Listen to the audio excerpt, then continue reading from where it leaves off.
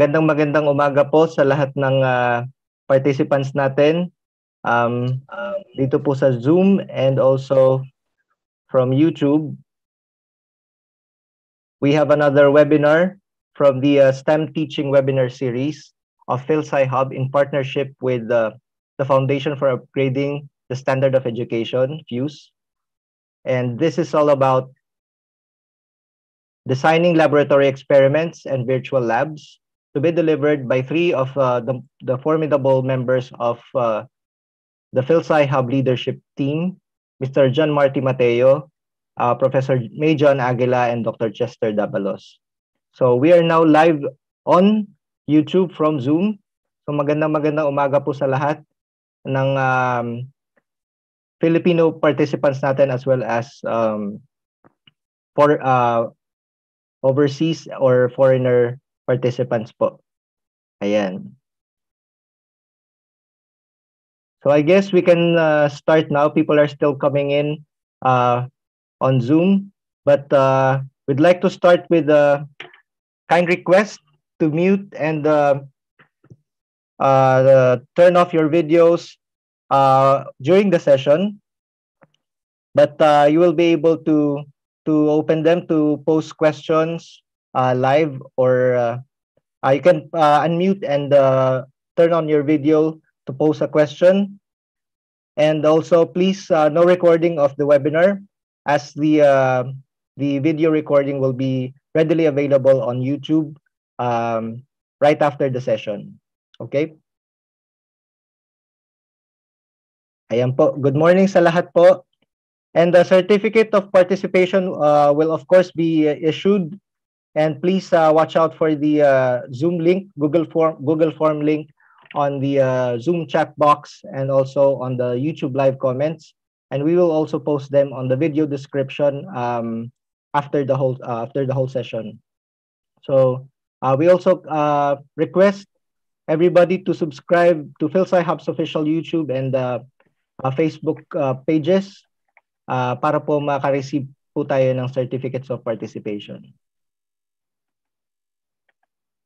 Next slide. So to uh, introduce our group is uh, our CEO and founder, Dr. Jeffrey Bongkin. Kuya Jeff. Okay. Thank you, JP. Um, good morning, everyone po sa Pilipinas, and um, good day to um, er everyone in the audience who may actually not be based, who may be based abroad. So, Um, muli po, para po sa mga bago nating um, audience members, uh, we would like to formally welcome you to the Filipino Science Hub. Um, so the Filipino Science Hub is actually a non-profit organization, um, which is essentially an online platform that uh, promotes the cultures of STEM education and research among students and teachers uh, in the Philippines. And then now also, like in other countries, because we've actually been getting um, part active participation from um, STEM enthusiasts, um, educators, and students from abroad. So um, this organization um, has been very active over the past 15, uh, 15 years, 15, 15 months, you know, like since the um, onset of uh, the pandemic and nung na-announce yung global lockdowns. And at the moment, uh, this is actually being led by um, uh, all uh, uh, seven of us. So uh, we're uh, we're actually a team of Filipino STEM scientists and educator who educators are working together uh, to essentially come up with programs that would empower both teachers and students in the areas of science, technology, engineering, and mathematics. And um, essentially, we are working we're working hard to help strengthen the culture of uh, STEM, as I said, STEM education and research in the country because we would like to someday see a technology and innovation driven Philippines. And para po magkaroon tayo ng bansa that is technology and innovation driven, it is very important that we are preparing or we are launching a new generation of STEM enthusiasts. And so dapat po at and as early as now, hopefully, um, kayo pong mga guro, uh, mag magkatulong-tulong po tayo uh, para po um, ma-inspire natin ang ating mga estudyante to pursue uh, a career in STEM in the future. And how are we doing that? So,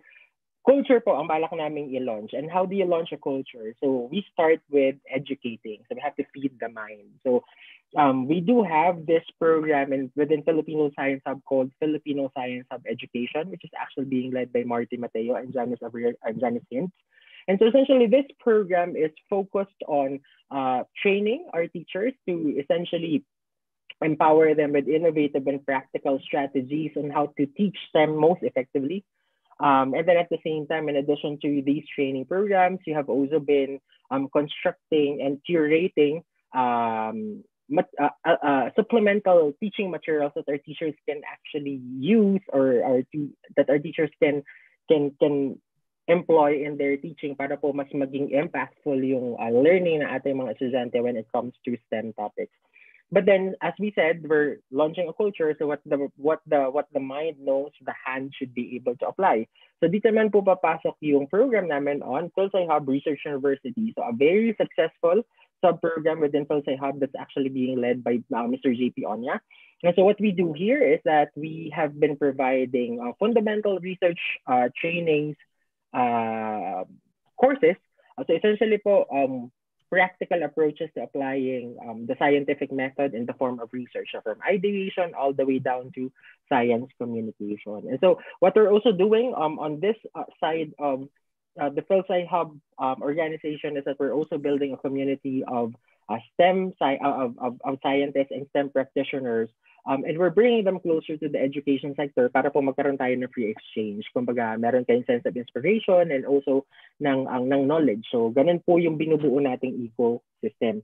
But then, so, um, how do we actually roll out these content? So, we're essentially um, all over almost all social media spaces that you can think of. So, we do have our official website, so www.philscihub.com, which um, has a, a, an average of about 25,000 visits per month, and it's, it's been growing. So we have curated um, and, and organized all of our, our content depending on, on themes dyan po website na yan. Uh, we do have a fairly uh, large following of, of, of uh, STEM educators on Facebook. So we have about 32,500 uh, Filipino teachers and students um, following us in that platform. Um, we have our YouTube channel, which we call uh, Hub TV. So dyan po yung mga recorded webinars that we have um, um, carried out before, as well as um, audiovisual modules in um, short uh, instructional videos for related to STEM topics. And then we're also on TikTok because we're making our presence known as well in platforms where our students are actually present.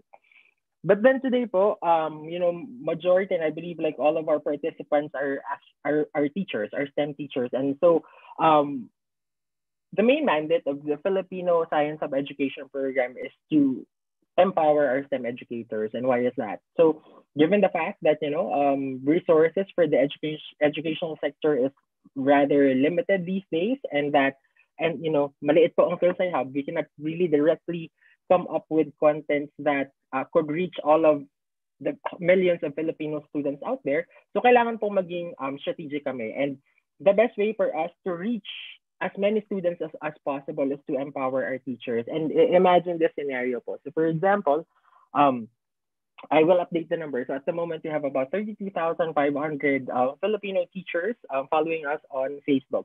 If we can train and empower these teachers, and if each of those 32,500 teachers would teach for an average of 30 years, and um, for each year they would they could impact about 30 students, we're looking at about 30 million um, Filipino students to be impacted over the, the next 30 years. And so um, if only 1% of that uh, total number of, of, of, Filipino students will end up becoming scientists and engineers of the future, you're looking at about 300,000 um, uh, uh, Filipino scientists and STEM practitioners that can be produced. And it, like by 30 years from now, if the population of the Philippines reaches about 170 million, you're almost at about you know nearly 2,000 Filipino scientists per million uh, population, and that is actually more than the number that we need for us to become globally competitive.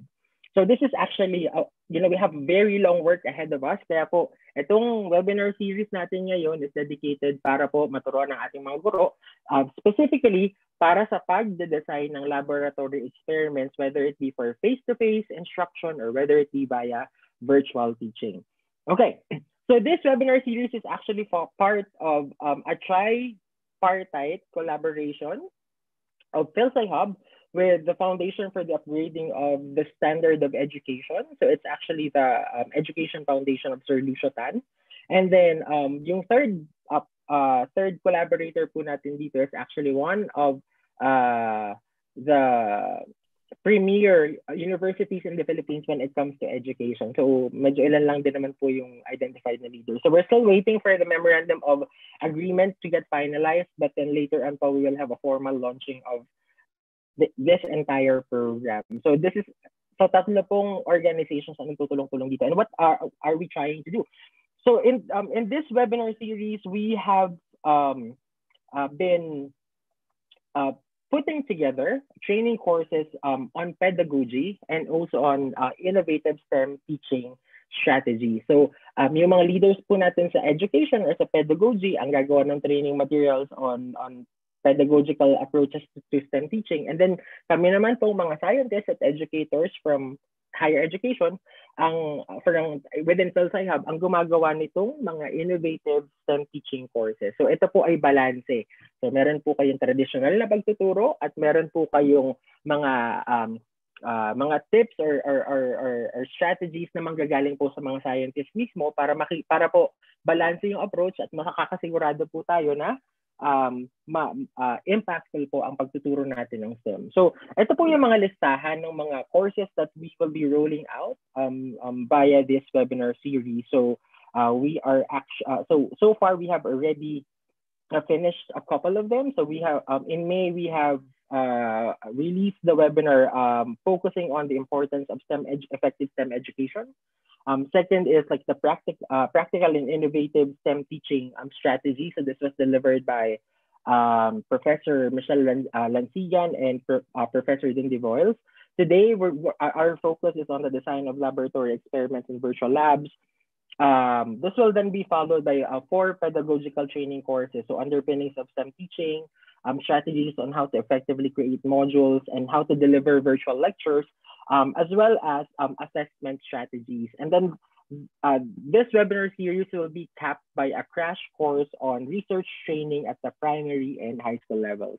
So we're also working with Fuse po, the foundation, and as well as our partner um, university in the Philippines, uh, major university in the Philippines, um, para po maging accredited itong training program na ito. Um, and hopefully po, once that gets approved by PRC, we will be able to issue CPD units po to all the teachers who will finish up this uh, training program. So for free po, hindi po kami magpapabayad dito and we would really want to incentivize, incentivize this program para po marami po sa ating mga guro ang mag-participate dito kasi we believe that ito pong um, structure of the training uh, program that we are offering is actually the first of its kind in the Philippines. Kasi ngayon lang po kayo makakakita ng sobrang active na participation ng Filipino scientists para po maturuan ng ating mga guro kung paano po talaga epektibong magturo ng STEM.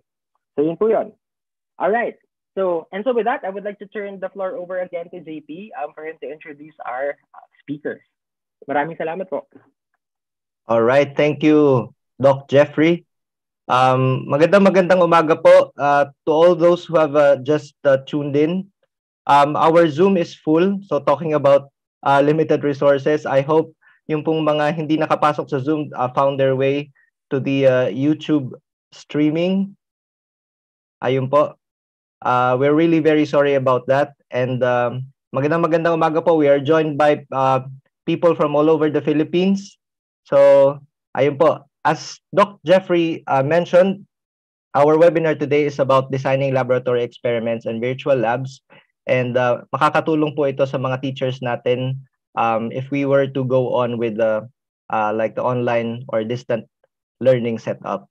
No? And today we are joined by uh, three of our members uh, of the Filipino Science Hub. And uh, I will introduce now uh, our speakers.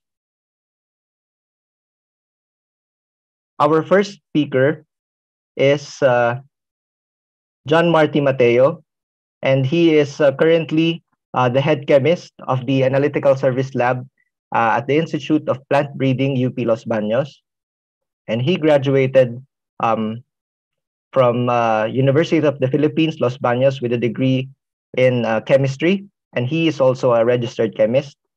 And he's currently involved in uh, 11 uh, externally approved um, funded pro projects, and uh, some of them are completed and still uh, ongoing. And these all amount to 100 million total funding.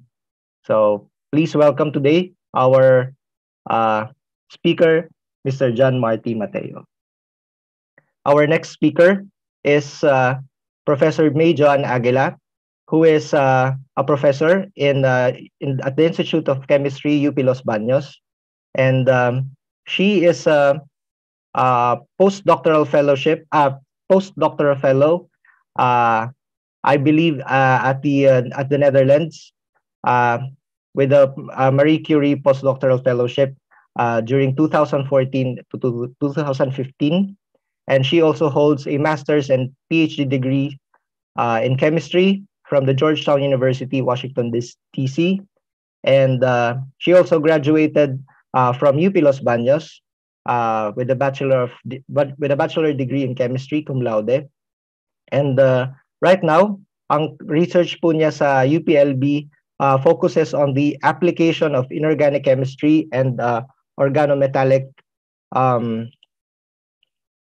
organometallic chemistry for a wide range of catalytic reactions. And uh, these all pertain to biomass valorization uh, of value-added chemicals and uh, ayun po, with bio, bioremediation po. Ayan.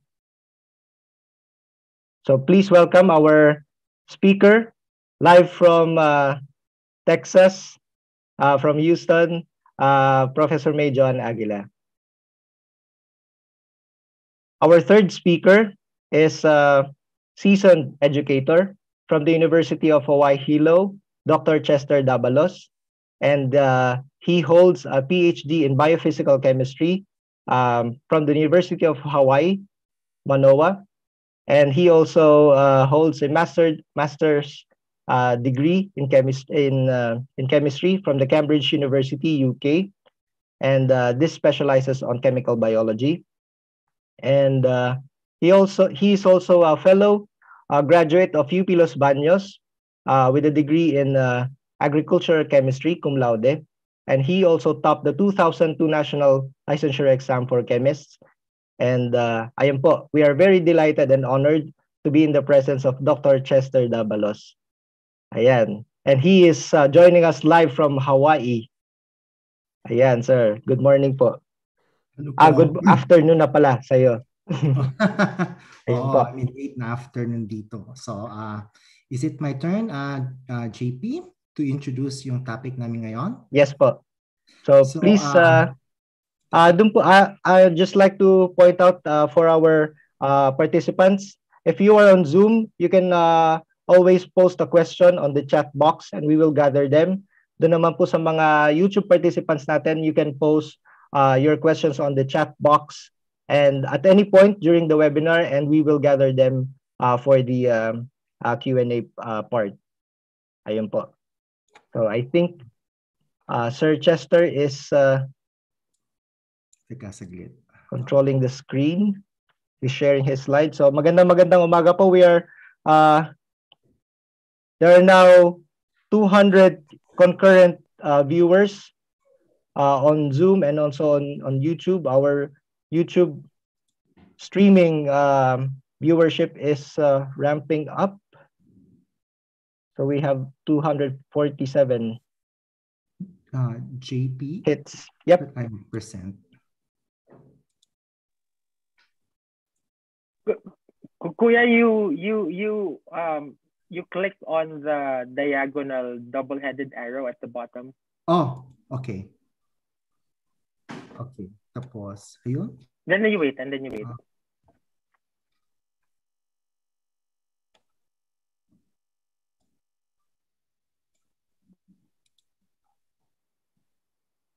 Ayaw. No, no. It's, I it's, think it's, it's, uh, loading. It's, it's lagging a little bit. Yep. Yeah. Oh. Okay, saglit. Naglalag? Mm-hmm. Uh.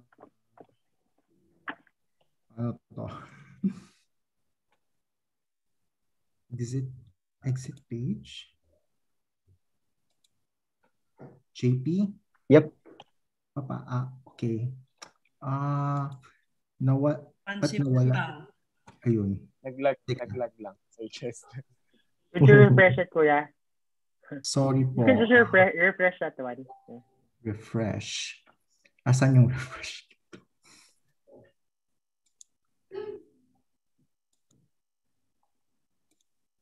Hmm, teka, sorry Ako na mag-share? Oh, ik- ik- ikaw, yeah, ikaw na muna mag-share. Mm-hmm. We are just having uh, some technical difficulties.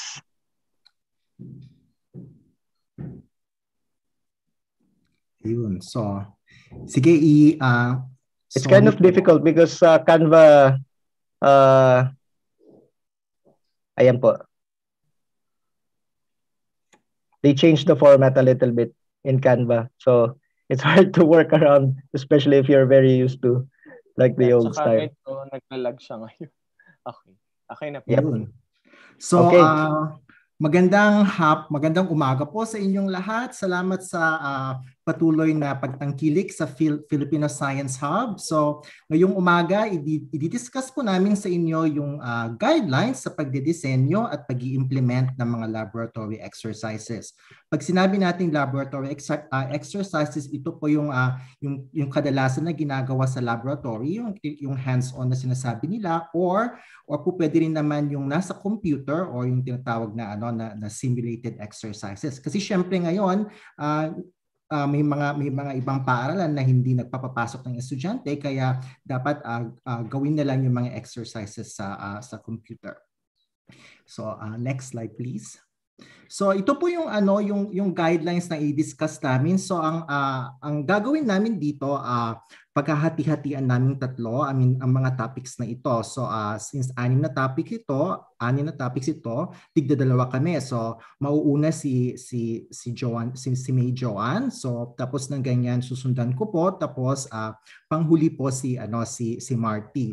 So, i-discuss namin ang mga concept na concepts na to tapos uh, towards towards the middle pagkatapos po ng uh, ng discussion namin, magpapakita po kami ng sample experiment sa inyo. So, si Joanne uh, magpapakita magpapakita siya ng chemistry experiment. Tapos ako, magpapakita ko ng physics experiment. Tapos si Marty, uh, biology experiment. So, papasadahan ko muna ang mga, uh, ang mga topics na to. Tapos ng ganyan, uh, uh, i-expound namin sila in detail. So, ito po yung guidelines na, na naisip namin. So, ang mga guidelines na to ay hango sa aming practical na experience. So, uh, wala po, uh, uh, ito po yung parang karanasan namin na sinishare namin sa iyo. Hindi po namin to say, for example, I mean, uh, kinuha lang sa isang isang site pero uh, kinompile namin yung ano yung uh, yung yung yung personal experiences namin. So para mabiling ta- mabilis tandaan, uh, sinummarize namin to with an acronym. So A, B, C, D, E and F.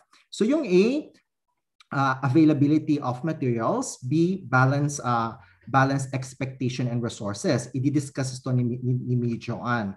Tapos yung C and D, yung claim evidence uh, reasoning model, uh, at saka directed for future discussion, i-discuss, uh, i-discuss ko. Tapos yung panghuli, yung enhancement of results and focus on contents and not on technology, i-discuss naman ni Marty. So uh, uh, ngayon, uh, please, uh, please welcome May John Aguila to discuss the first two topics. Thank you very much, Chester. So, for the first topic, so thank you, Marty. So, yung unang-una, lagi natin tatandaan na yung laboratory experiment ay dapat uh, kasabay siya or kaugnay siya ng lecture natin. So, yung first uh, aspect na dapat nating uh, malaman is availability of materials. So, next slide. So, when we talk about availability of materials, actually, ang pinaka-importante dito, it should be readily available in your locality. Especially sa mga high schools, 'di ba? Uh, sa chemistry, uh, napapansin ko talaga na medyo mahirap kasing bumili ng mga chemicals. Lalo na siguro sa inyo sa high school kasi may mga laws na dapat nating i-consider sa pagbili ng chemicals. So in this case, why don't we try to look for materials say na nasa kitchen, nasa grocery store or materials na nasa hardware store, yung mga madali nating i-resource. And including to this part, so readily available at sana i-consider din natin yung cost. Dapat inexpensive din siya. So para hindi naman masyadong uh, mahal yung paggawa ng experiment. So next slide, Marty. So aside from that, especially sa chemistry, uh, these materials should present uh, no safety issues, particularly if you are going to ask our students to do this at home. So kaya nga ang recommendation namin, so yung mga readily available na sa uh, grocery, sa supermarket, kasi at least yung mga yon, we know na um, pwede natin silang gamitin at very minimum yung harm na uh, incorporated sa kanila. And then next slide. So when we design experiments, dapat din walang special equipment. So mahirap naman na hindi matutuloy yung experiment kasi meron pala siyang special equipment. So the simpler the equipment that you use, mas madali siyang i-resource. So mas madali niyo siyang ma-perform yung experiment. So that's for the availability of materials we're considering not only yung chemicals, pati na rin yung equipment. So the second one, so balance expectation and resources. In this case, so sabi ko nga, so hindi dapat masyadong bongga yung experiment na i-execute natin kasi baka mahirapan tayong ma-execute later on. Mapo-forfeit din yung objective ng experiment. So along with this, so next slide,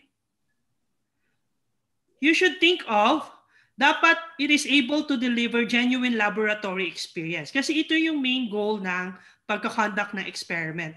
Dapat meron silang uh, laboratory experience. Dapat hindi ito mawawala. So kahit at home yung experiment, uh, kahit improvise yung experiment natin, kung yung mismong students yung gumawa, I think they will appreciate the topic, the lesson more kasi na-perform nila yung experiment. And then next slide. So along with this, just like what I've been saying, dapat uh, yung laboratory experiment, it directly interfaces yung concepts na tinuturo natin sa lecture. Kasi di ba minsan mas madali talagang ipaintindi kahit sa atin. Kapag medyo nakikita natin, naririnig natin, di ba? Kaysa sa uh, nababasa lang natin yung mga concepts do sa lecture. So kapag pina-perform siya, so lahat ng senses hopefully uh, involved or at least uh, may konting uh, maybe two uh, senses involved. So mas malaki yung immersion ng student doon sa topic. So mas madali nilang maiintindihan, mas madali nilang marirelate sa pang-araw-araw nilang buhay. Okay, so that's for the two aspects. The first two aspects, A and B, with regards to the guidelines of designing experiments. Back to you, Chester. Thank you, Daang. So, uh, it's my turn ulit. So, uh, So yung yung pangatlong aspect, uh, dapat i-incorporate natin yung tinatawag na CER model. Ano nga ba tong CER model? Ito yung yung kadalasan na ginagamit ngayon ng mga ng mga STEM practitioners para sa pagdisenyo ng mga experiments. So tignan natin kung ano yung mga subcomponents ng CER model na ito. So C actually stands for claim. So pag sinabi mong claim, ito ay actually uh, katumbas ng uh, ginagamit natin na hypothesis sa scientific method. Ang claim ay po pwede ring uh, maging maging assumption. Kung sa Pilipinas, uh, uh, yung layman term nito parang haka-haka. So uh, yung parang uh, pwedeng itong uh, superstition din or whatsoever. Actually, ang claim po pwede siyang uh, pwede siyang uh, pwede siyang uh, i-support or later on uh, i-forfeit. And uh, uh, in order to do that, kailangan natin ng E, yung evidence. So, yung evidence, ito yung data na makukuha natin sa, pag, sa, sa ating pag-experiment o pag, pag-simulate. Tapos yung R is actually yung reasoning. So reasoning is actually the uh, explanation kung bakit nagiging ganito, ganito yung claim or yung evidence. So so uh, mini-merge niya ngayon yung uh, yung claim at evidence tapos uh, it's going to it's going to uh, it's going to to either support or reject the claim. So uh, next slide please.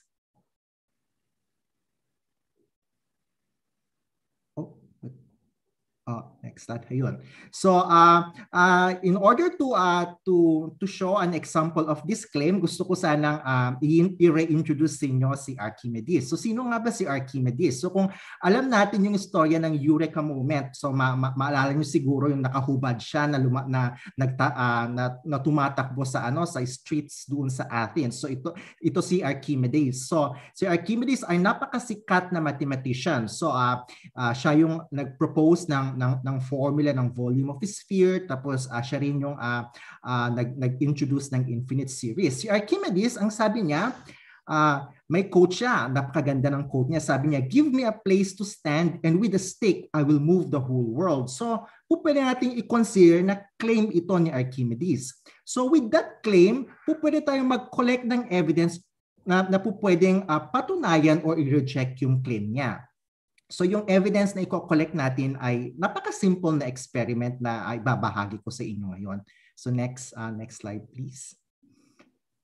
So uh, yung experiment na ipapakita uh, ko in order to uh, in order to validate his claim ay ay uh, concept ng ano ng lever. So yung lever uh, yung left hand side niyo makikita niyo na parang uh, may parang uh, may parang stick na parang uh, may, may may mga distance uh, marking siya. So makikita nyo na may, may load at saka may effort. So ipapakita ko mamaya kung ano yung relationship ng effort force from its uh, from the distance to the fulcrum.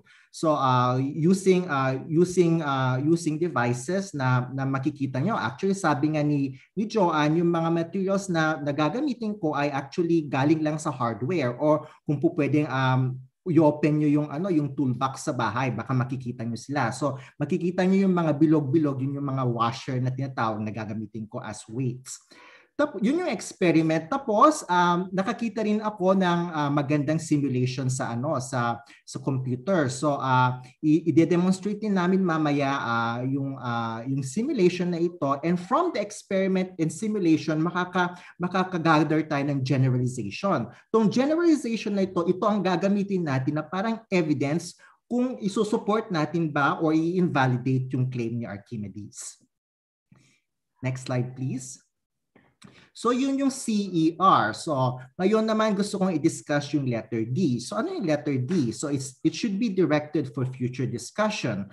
So uh, as scientists, alam natin na na yung yung yung degree of concepts are actually nag-increase from simple to complex. So uh, so dapat as as teachers, dapat ang gagawin natin ay dapat kumukuha tayo ng mga information na alam natin kung paano i-project ito sa, sa mga things that are more complex and more relevant in nature. So, so dapat yung conclusions na makukuha natin sa experiment, I mean, should actually pave the way para ano, para umpisahan natin yung discussion ng mga more advanced topics. So, yung picture na pinakita ko dito, nakita nyo yung ano, yung uh, yung path papuntang lighthouse. So, dapat ganun tayo, dapat binibuild natin yung momentum, binibuild natin yung ano, yung excitement para uh, para yung mga estudyante natin natin ay actually um, uh, maengganyo. So sabi nga nila, uh, ang kabayo daw ay hindi, kung hindi mo mapapainom ng tubig, kailangan mo silang uh, kailangan mo silang bigyan ng ng asin. Then after that, they are going to seek for more. Uh, uh, yung, yung, yung, yung, yung contrast niya, yung nasa baba, we have to avoid introducing something na hindi naman natin ifa-follow up. So, ang, ang analogy ko yan, parang yung dead end sa daan. So, wag natin dapat bitinin yung mga estudyante kasi pag binitin, sila, uh, binitin natin sila, mawawala yung kanilang excitement. Next slide, please.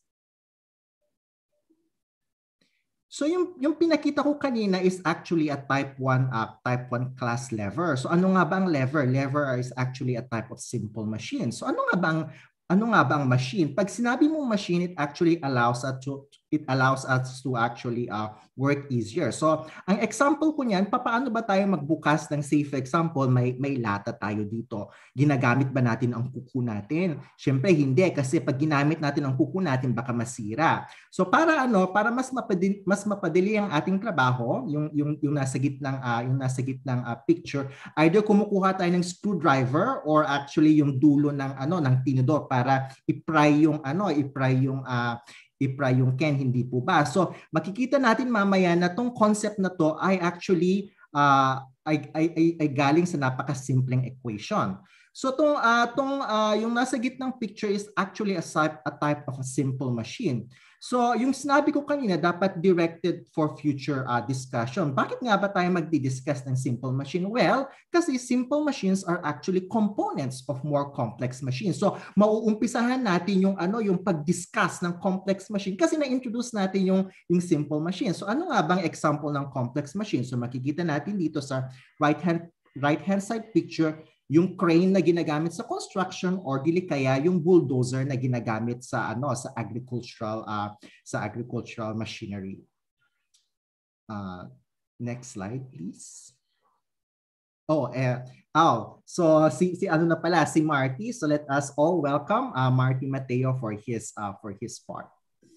Thank you Sir Chester and thank you Ma'am Daang. So ito na yung last two na uh, letters for the design of experiments na ipinapropose namin based on experience. So, uh, after yung uh, directed for future discussion, uh, we also deemed important na there should be an enhancement of results. So makikita nyo dito, it's just a simple representation. Nakita nyo yan, may nag-blow ng fire. So from a spark, sa umpisa nung uh, sentence mo, kailangan at the end of your experiment, you'll have a fire. So parang ganun yung gusto naming uh, sabihin. Kailangan yung results nyo is building up towards a greater, uh, a greater uh, result at the end. So what are the components uh, on how to uh, enhance your results? Uh, so, ayan. So, yung una kong nilagay dito is create that spark. So, ayan, medyo curious siya and uh, yung isang uh, yung cat dyan at saka yung tao na pinakita ko. So, uh, to create that spark, you should have uh, sustained curiosity throughout the experiment. So paano ba natin kinukuha yung sustained curiosity throughout the experiment? So it starts actually with the worksheet that you will be giving your students. So dapat sa worksheet, uh, there is a reinforcement of concepts or meron tayo mga low-stake assessment in between the steps of the process na ginagawa natin yung experiment natin. In this case, uh, since halimbawa, pinagsa sa sa experiment ko kanina, ah, mamaya sa experiment experiment ko mamaya, halimbawa pinagsama ko yung potato and yung hydrogen peroxide, ang nilala, ilalagay nyo sa worksheet nyo parang, uh, uh, syempre, what did you observe? Tapos after what did you observe, pwede kayong mag-introduce ng isang concept after dun sa inyong worksheet. So halimbawa, mag-introduce kayo ng uh, concept about enzyme. So with that flow in the worksheet, uh, ma- masosustain natin yung curiosity ng ating students. So it starts with the worksheet design dun sa ating uh, kung paano masustain yung curiosity and to create that spark. And also, in creating a spark, dapat medyo interesting yung uh, ating ginagawa na experiment. So halimbawa, yun sa akin, potato and agua oxinada, di ba? Hindi naman natin normally pinagsasama yung dalawa. Pero pag pinagsama mo yung dalawa, anong mangyayari? Ano yung concept behind? And also, to create that spark, meron tayong iba't ibang approaches. So yung una nga, pwede ka mag-start agad sa experiment. Pero pwede ka ring mag-start agad sa pre-lab discussions. Katulad ng ginagawa natin sa normal setup sa laboratory, you have pre-lab discussions before you go, go through to the experiment. Pero pwede rin yung parang mag-spark ka agad ng interest na, ah, pag pinagsama ko to at ito, ano kaya mangyayari? So, iba't ibang approaches ang pwede nating gamitin para magkaroon, magkaroon tayo ng enhancement of results. So the next one is make it realistic. For if you are going for a homemade experiment, make it more experiential. Meaning to say, dapat nagagawa ng mga estudyante natin yung experiment na gusto nating ipagawa sa kanila sa bahay. So, sinabi nga kanina ni Ma'am Daang na mas natututo yung mga students natin pag ginagawa nila ito by hands. Uh, more especially, syempre, alam naman natin itong lahat, kapag nagsusulat tayo, di ba, mas uh, mas natututo tayo pag nagsusulat tayo kumpara sa pag nagbabasa lang tayo. So, same is true with homemade experiments. Kapag nagagawa ng bata yung uh, yung experiment, they can easily relate it to the concept. So, uh, make it is experiential for them. For virtual labs naman, make it more realistic. So, ibig sabihin, uh, kung uh, kung may experiment ka na highly uh, simulation, dapat merong mga effects diyan na parang kunwari na, na, na parang nag, nag gumagawa talaga sila ng experiment sa lab or kung na na, na, na, na nabibigay niya yung result na dapat talagang makuha from the actual experiment. So, uh, virtual labs are actually very good reinforcement sa pagdi-discuss ng mga concepts. Pero better pa rin if you have simple experiments at home. So, yun, uh, kasi mas mahalaga talaga yung experiential learning kumpara dun sa mga virtual simulations natin. Pero, itong mga virtual labs are very good tools and uh, na, na kailangan natin gamitin para ma-reinforce yung learning ng ating mga bata.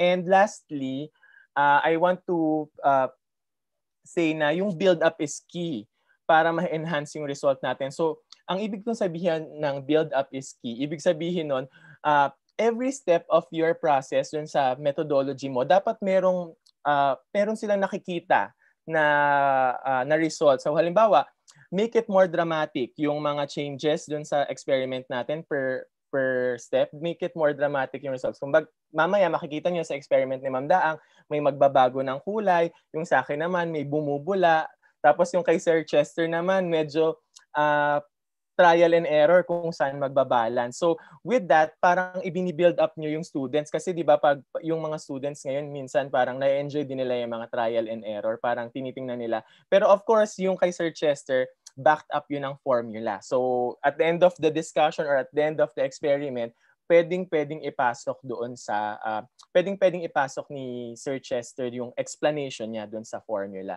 And also, uh, katulad ng sinabi ko kanina, yung mga results or yung mga outcome or yung mga observation ng each step should be uh, halimbawa, may change in color, change in temperature, or uh, change in shape, change in face, yung mga ganun, para mas ma-enjoy ng mga bata. With that, parang nagkakaroon sila ng uh, mo, nagkakaroon ng more dramatic effect dun sa ating homemade experiment.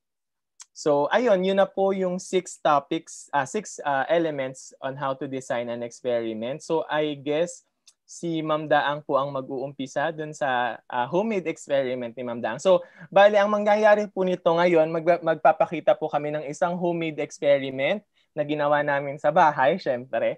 And number two, yung virtual labs or simulation na nakita namin sa internet. So meron din kaming i-propose na website kung saan nyo makikita tong mga uh, virtual simulation. So we will start with the home homemade experiment. So Ma'am Daang, uh, yes, please, po. proceed na to the next slide. Hindi pa pala ako tapos, sorry. Meron pa palang F. Na-excite ako. Okay, sorry. Na-excite ako. Meron pa palang focus on facts na technology. Pero hindi naman po namin dinidemonize yung uh, technology dito. We just want to emphasize na even though we have complex simulation or even though we have simplistic approach or methodology, dapat we focus on facts. So nakalag, uh, nakalagay dyan representation is a newspaper because sa newspaper makakita tayo ng maraming facts, walang fake news. Hindi katulad sa social media, napakaraming fake news. So sa newspaper, mo, mostly facts ang makikita natin. All right. So as I've said earlier, kailangan mag-build up tayo on the basic concepts. So at the end of the day, the students should have a, a great foundation of basic concepts of the experiment that they are doing. So this can be reinforced through a pre-lab discussion or yun nga sinabi ko kanina, pwede kang mag-insert na mga concepts in between the steps of the experiment. Also, complex and simplistic approach might mi- might miss the key message. So ito yung sinasabi ko kanina. Kung virtual lab yan or simulation or gaano man ka-complex yung simulation na o experiment na ginagawa mo, you should go back to the basics. So kailangan maganda ang foundation kasi if you have complex experiments, ka mahirap siyang intindihin kung hindi mo alam yung basic concepts behind those complex experiments. And also, yung simplistic approach katulad naman ng homemade experiments, baka naman napasimple natin ng sobra pero na-miss out nating i-discuss yung mga basic concepts, basic terms, technical definitions of all of the stuff that is uh, incorporated in your experiment. So, lagi nating tatandaan na uh, it's better to have a good foundation rather than uh, yung parang mag mag-proceed ka na agad sa complex equation, mag-proceed ka na agad sa simple methods or sa shortcuts, kailangan you have you will have a uh, a good foundation on basic concepts before you do the actual experimentation. So ayun, yun pala, doon pala nagtatapos yung sa akin, Ma'am Daang. Okay, so okay. si Ma'am Daang na for his ex, uh, for her experiment. Okay. So uh, next slide na. All right, for the sample chemistry experiment that I chose, actually I look into acid-base chemistry. Tapos uh, siguro nakikita nyo na rin to. Usually kasi ito yung ginagawa to encourage yung mga toddlers, yung younger kids para mapick yung interest nila sa science. Tapos titingnan natin kung paano natin magagamit to sa actual say high school chemistry, no? So, in this, so next slide. There are several um, I divided yung hands-on or wet lab into two. So yung first, yung identification ng substance. So if it is an acid or a base through the use of a plant uh, pigment as indicator. And then titration of an acid with a base. So sa general chemistry, yun naman yung usual na ginagawa. So the concepts that are presented na maha-highlight dun sa experiment. So of course, yung idea ng acids and base. Tapos you can also introduce yung uh, Bronsted-Lowry definition about proton transfer, particularly if you go into the titration reaction. And then along with this, since we're using a plant pigment, so may-introduce din sila, ano ba yung mga nagbibigay ng color sa plant? So plant pigment and their corresponding solubilities. So importante yun, may, um, na ma-note nila. And then yung idea ng indicator, sa in particular sa neutralization or acid-base reaction. Tapos yung technique na titration. Although uh, medyo crude yung titration technique natin dito, but it will still suffice do sa learning na makukuha ng mga bata as we I will highlight uh, later. So next slide, um, Marty. I think the next slide is the video. So let's watch the short video.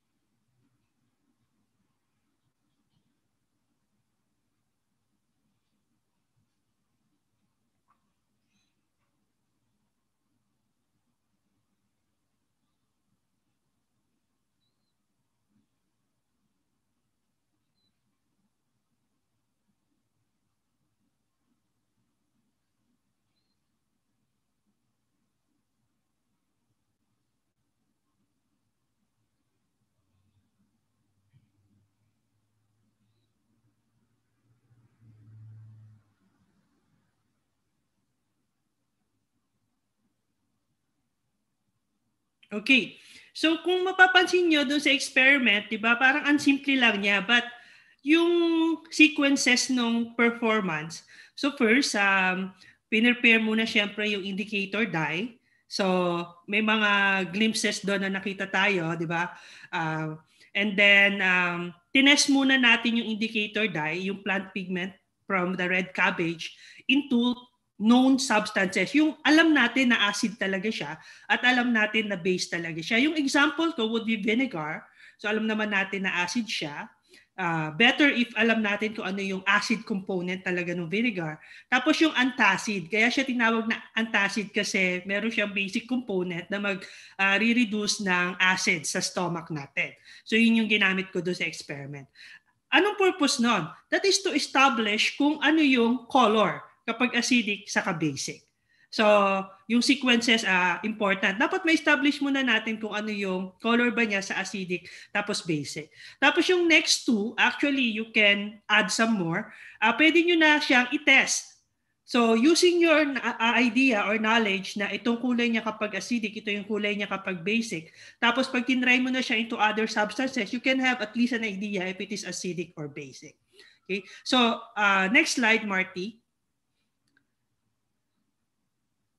This is actually some variations that I'm recommending na you can employ.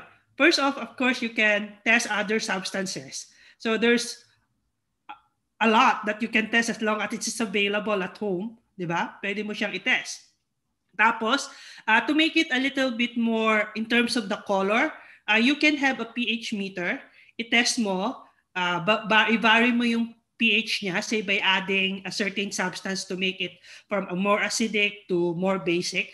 Tapos uh, establish mo. So meron yung variation sa kulay. So yung sa shading ng pink or red and then sa shading ng violet to blue, magkakaroon yun ng differentiation. So mas mas maganda yung differentiation no, ng pagiging acidic or basic kasi mas nakikita mo talaga yung differences in color. And then, okay, so actually, uh, may nag-comment dito, uh, Marty, balik mo muna ulit.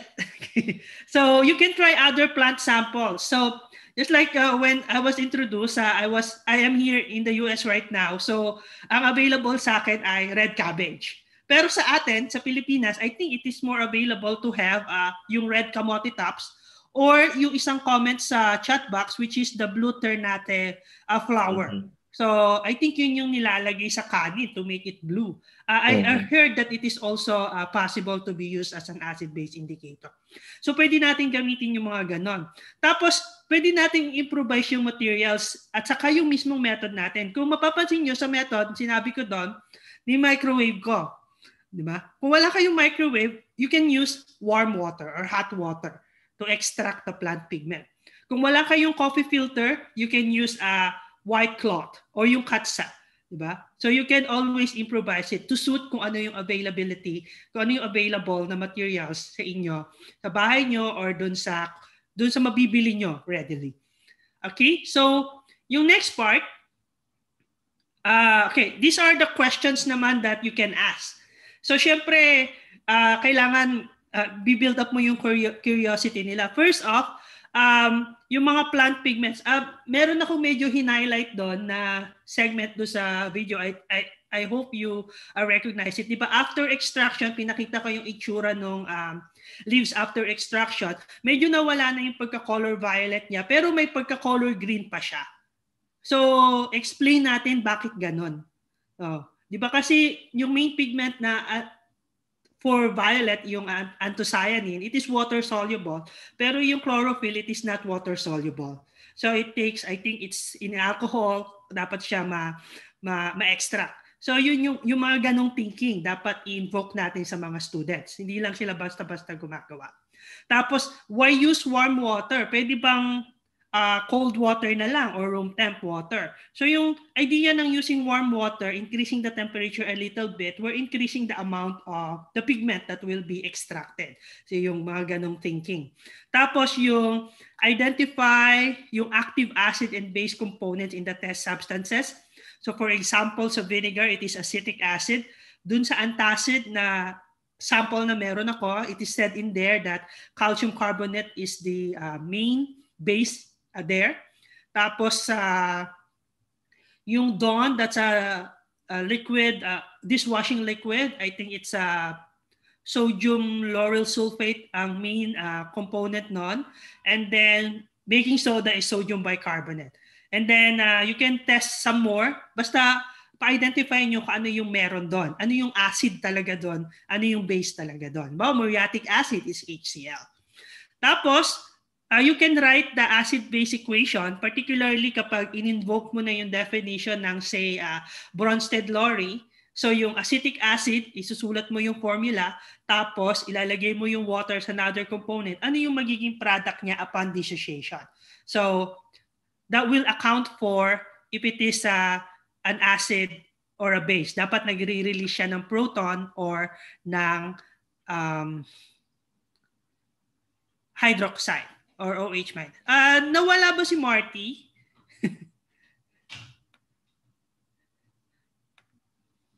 Or ako lang, may, may naka-share pa ba? JP, may nakikita? Not yet. Nawala ka, Marco. You want me to you want me to share or Actually, um, wait lang. Akong open na sa iyo, Marty, ah, uh, ayan. Ayan, ito na. So, at tapos, uh, to, to extend that, to extend that, nandito, you can explain it uh, using uh, the colors of flowers or plants. For example, yung hydrangea. So this is from the Garden of Chester.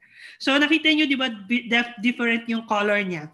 So this is a purplish violet and then this is pinkish. And this is because of the pH of the soil. So marirelate na nila doon. So doon sa ginawa natin experiment, marirelate na nila.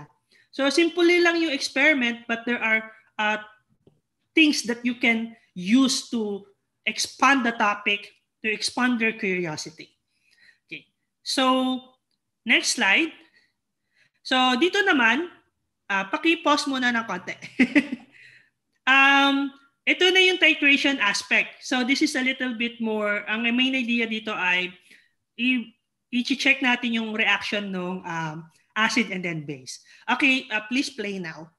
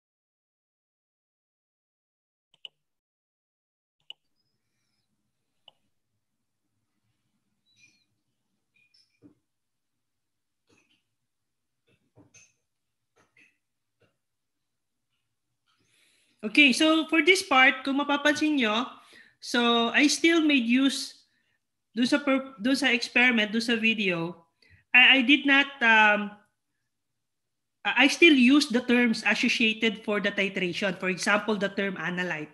Diba? Yung analyte, siya yung i-analyze mo sa titration. Tapos kung mapapansin nyo, although very crude yung mga measurement ko, I still made sure na I measured it. Tapos yung indicator sa titration, um, usually ina-add mo yun sa analyte. So yun yung sa titration method. So hindi nyo i-skip yung mga ganong mga um, special considerations kahit na at home yung inyong experiment. Tapos nag-prepare tayo ng titrant. Yung titrant, by the definition, ito yung dinadagdag mo uh, gradually sa analyte para uh, ma-determine mo kung saan point magiging yung kanilang uh, endpoint. Endpoint is when the color changes. So ang analyte natin dito ay yung vinegar solution, yung titrate natin ay yung um, yung uh, baking soda solution. Tapos um, I hope you you notice there na sabi ko, you need to somewhat count how many additions at uh, what additions ng teaspoon. I think uh, yung after 2 teaspoons, doon na very uh, distinct na na pink yung analyte pero pag dinagdag mo ng titrant, yung dalawang uh, baso doon na pinakita ko, 'di ba? Violet na siya or somewhat uh, bluish violet na yung kulay niya. So, very distinct na yung color change after a uh, 2 teaspoon. Okay? Tapos uh, overkill na yung nilagay ko pa yung isa pang teaspoon. Uh, please go back to that slide. So for this, para mas maging um, quantitative yung approach natin dito, you can fine-tune the amounts and concentration.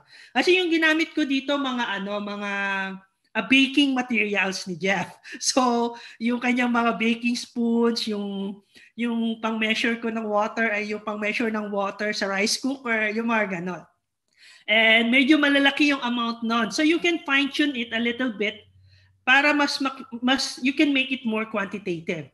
Okay, so but I hope that you can see in the experiment that it's still it's slightly or semi-quantitative. Di ba? Meron naman tayong information like uh, how many teaspoons does it take for it to change color. And then, pwede nyo extend it to test other brands of vinegar. So, yung other brands ng Analyte para ma-check nyo kung alin ba doon yung mas malaki yung concentration ng acetic acid, yung dati puti ba? O ano pa ba yung mga tatak ng vinegar dyan sa atin? Mm-hmm. Kapinya, yung mga ganon. Di ba? O niloloko pa ba tayo ng mga manufacturers na to? Or yung other brands ng baking soda. Or you can use other acid or base as long as vetted nyo kung safe siyang gamitin sa, sa home-based experiment. And yung isa na nire-recommend ko, particularly if you really want this to be quantitative, you can prepare a home kit Uh, per student, medyo matrabaho nga lang to. Per student, tapos yun yung ibibigay nyo sa kanila. Di ba, nagdi-deliver tayo ng mga materials sa kanila, pwede nyo i-deliver sa kanila. Mga improvised glasswares and measuring devices. Particularly this part. Kasi baka hindi pare-parehas yung uh, size ng kutsara na gamitin ng mga student, eh baka masyadong maging malayo sa conclusion na gusto nyong makuha. So, pwede kayong mag-improvise ng mga glassware. Halimbawa, yung plastic cups, lagyan nyo na siya ng mga measurement. Tapos, mag-ipon kayo ng mga plastic spoons sa Jollibee. Bigyan nyo sila tigi-tigisa. Yun yung pang-measure nila. Okay? Or, halimbawa, um, okay, uh, sabi ni Clinton, disposable syringe. Actually, pwede din yan. No? Pero yung mga nire-recommend ko, yung mga pwede nating makuha the like like yung plastic spoon sa Jollibee or something like that. Pwede natin gawin yon home kit, bigay natin sa mga students, 'di ba? Uh, it, it might it might uh, you might spend a little bit but hopefully not that much. But the experience that they will gather is uh, uh hindi siya matatapatan ng kahit na ano. So uh, ma-employ nyo pa rin yung experiment na yon. Okay, so and then next slide. Uh, the questions you can ask, actually, you can really ask them to write the acid-base reaction. Para ma-account nila, ano ba yung acid na nag-react, ano ba yung base na nag-react. Tapos, if it, it, if it is really quantitative, um, you can have them calculate, say, the acid amount in the vinegar.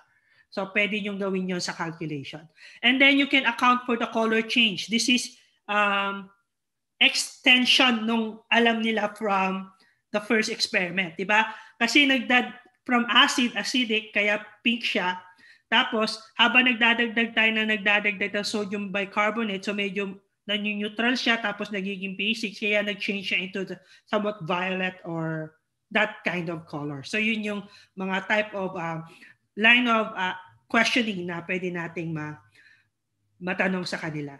Before I go to the simulation, I think the next part here is simulation. I also want to emphasize, di ba doon sa video, may mga notes ako doon. Like I said, kung ano yung kulay na na-produce. No?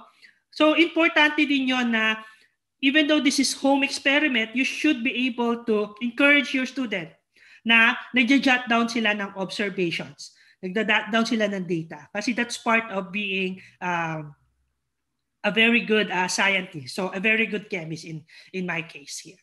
So, for the simulation, I think that's the next slide. Okay, the simulation uh, that I'm recommending na pwede dito sa experiment na to is the one that can be found from PhET, uh, interactive simulation. So ito yung uh, interface niya. So meron doon acid-base solution. Actually, uh, uh, please uh, go to the next slide. uh, you can use this simulation to supplement yung discussion nyo dun sa uh, experimental, um, dun sa experiment. So, in the simulation, may mga a simulation sila to distinguish say, a strong acid from a weak acid or strong base from um, weak base. And then yung pH ng different aqueous solutions or pH ng different substances. At meron din silang uh, relationship na pinapakita ng concentration ng H+, sorry, ng hydroxide sa yung pH. So ako na yung mag-share um, JP kasi pupunta ako doon sa simulation.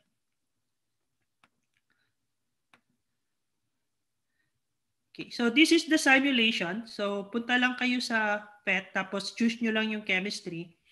So meron dito yung directly uh, related sa acid base. For example, this part. Ah, nakikita nyo na ba? so yung introduction, this is just basic. Um, papakita lang sa atin. Uh, pwede nyo itong ibaba para malaman nyo yung pH. So, yan, pag water lang, pag strong acids, tapos makikita nyo kung ano yung, ito yung mga representation So makikita nyo na dito sa diagram, wala itong dalawang to kasi ang main idea kapag strong acid, it dissociates completely. Pero kapag weak acid, meron pa nitong mga to. Ito. So meron pa siyang acid. So naipapakita niya. So similar with the strong base at saka sa weak acid. Tapos may meron ditong um, pH na nakakonsider. Okay. So that's for that part. So you can show that in class or you can ask them to work on that. In this case naman, um, I think you should, for example, you can choose weak acid and then you can vary the concentration and then i-check nyo in terms of dito ay dito sa magnifying glass yung distribution roughly uh, micro So, ng mga molecules. Tapos, na, na ano niya yung pH. So, for example, sa 0.03 molar, ito yung pH kapag weak acid. Pero kapag strong acid, ito yung pH niya. So, mapapakita nyo na na yung difference talaga with respect to the dissociation. Diba? Na yun yung nagiging result. Mas bumababa talaga ang pH kapag strong acid. And then,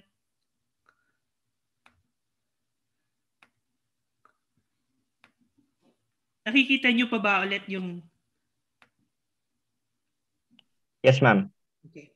So ito yung sa pH scale basics, which is actually, um, sorry, pag binaba nyo lang ng konti yung ano, ito yung ano, ito yung acid-base solution. Pag binaba nyo lang ng konti, you will get to the pH scale. Meron dalawang klase, pH scale and pH scale basic. Uh, maunti lang tong pH scale basic. So I'll just go to the pH scale. So this is the pH scale. Meron kang, uh, say, macro.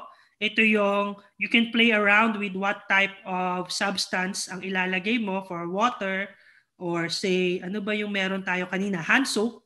Iba yung hand soap natin kanina. Ay, hindi pala siya hand soap, dishwashing liquid, but somewhat related.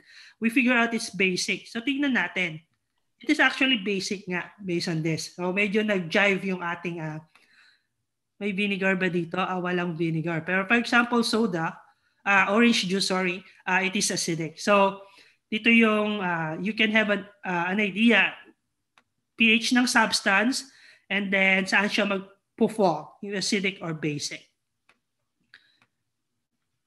Uh, teka lang. I think yung next two parts here is a little bit more sa concentrations na. Ito, ito oh, yung pwede mong babago actually yung uh, concentration. Ito concentration ng OH. Paano nga ba to? Ay, water kasi siya. Halimbawa ay orange juice. So ito yung concentration ng hydronium, yung acid component. Ito yung concentration ng OH. Tapos ito yung pH niya. If you add some more water, ito yung nagbabago yung pH niya. I think uh, you can also explore on that. Kapag dinadilute mo siya, dinadagdagan mo yung tubig, nagbabago yung pH niya, mas tumataas, di ba? And you can explain that. Pag inintroduce mo na equation sa pH, yung pH equals negative log, concentration of H+, nakikita mo na mas uh, bumababa kasi yung concentration niya kaya tumataas yung pH. So those sort of things. So pwede nyo gawin to uh, in conjunction with your experiment, okay? Para mas maging uh, uh, makulay yung calculations. Di ba usually pag mga PHPH, mga calculations yung ginagawa natin dito. Para mas maging makulay yung calculations na gagawin natin o ipapagawa natin sa mga bata. Okay, so that's it for me. Uh, this is about uh, chemistry, so acid-base uh, chemistry. I don't know who's next. I think it's Marty or Chester. Okay, Chester. Hello. Hi, Marty. Yeah. Pwedeng uh, i-control mo ulit yung ano, yung uh, yung slides. Okay po, sir. Wait lang po. Salamat.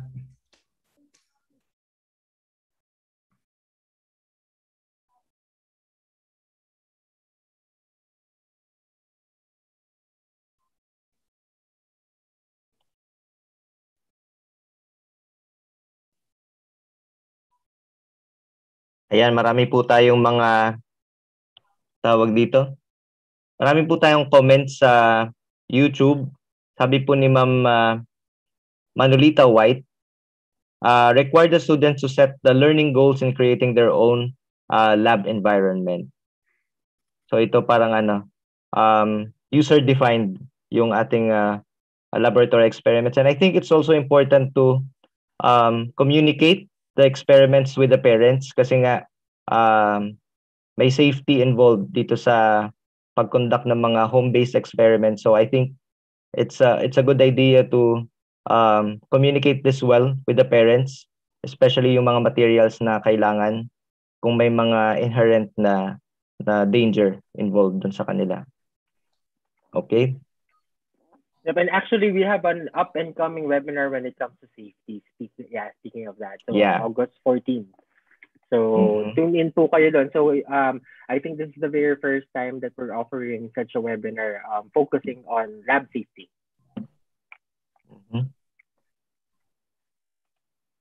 Ayun. Okay na po. Na-disconnect ako actually. Kaya medyo Thank you very much, Marty. At, at salamat po sa inyong pasensya. Marami kaming uh, technical issues ngayon. At, uh, pero thank you very much for uh, for still uh, uh, uh, hindi, hindi kayo uh, umaalis. So, so uh, ngayon i-discuss ko na ngayon yung uh, yung physics experiment. So uh, balikan ulit natin yung ano yung sinabi ni ano ni Archimedes, yung ano Greek mathematician. Sabi niya, kaya daw kaya niya daw galawin ang mundo using uh, using a stick. So ito yung picture na sa left. I mean so of course isipin natin posible nga ba talaga to? I mean, uh, ang mundo ay napakalaki, napakabigat, napakataas ang force. Tapos, sabi ni Archimedes, gagalawin niya daw using with a stick. So, ang gagawin natin ngayon, uh, mag-devise tayo ng simple experiment tapos babalikan ulit natin yung claim ni Archimedes. So, uh, uh, i-attempt natin na i-answer yung question, how is effort force? So pag sinabi mong effort force,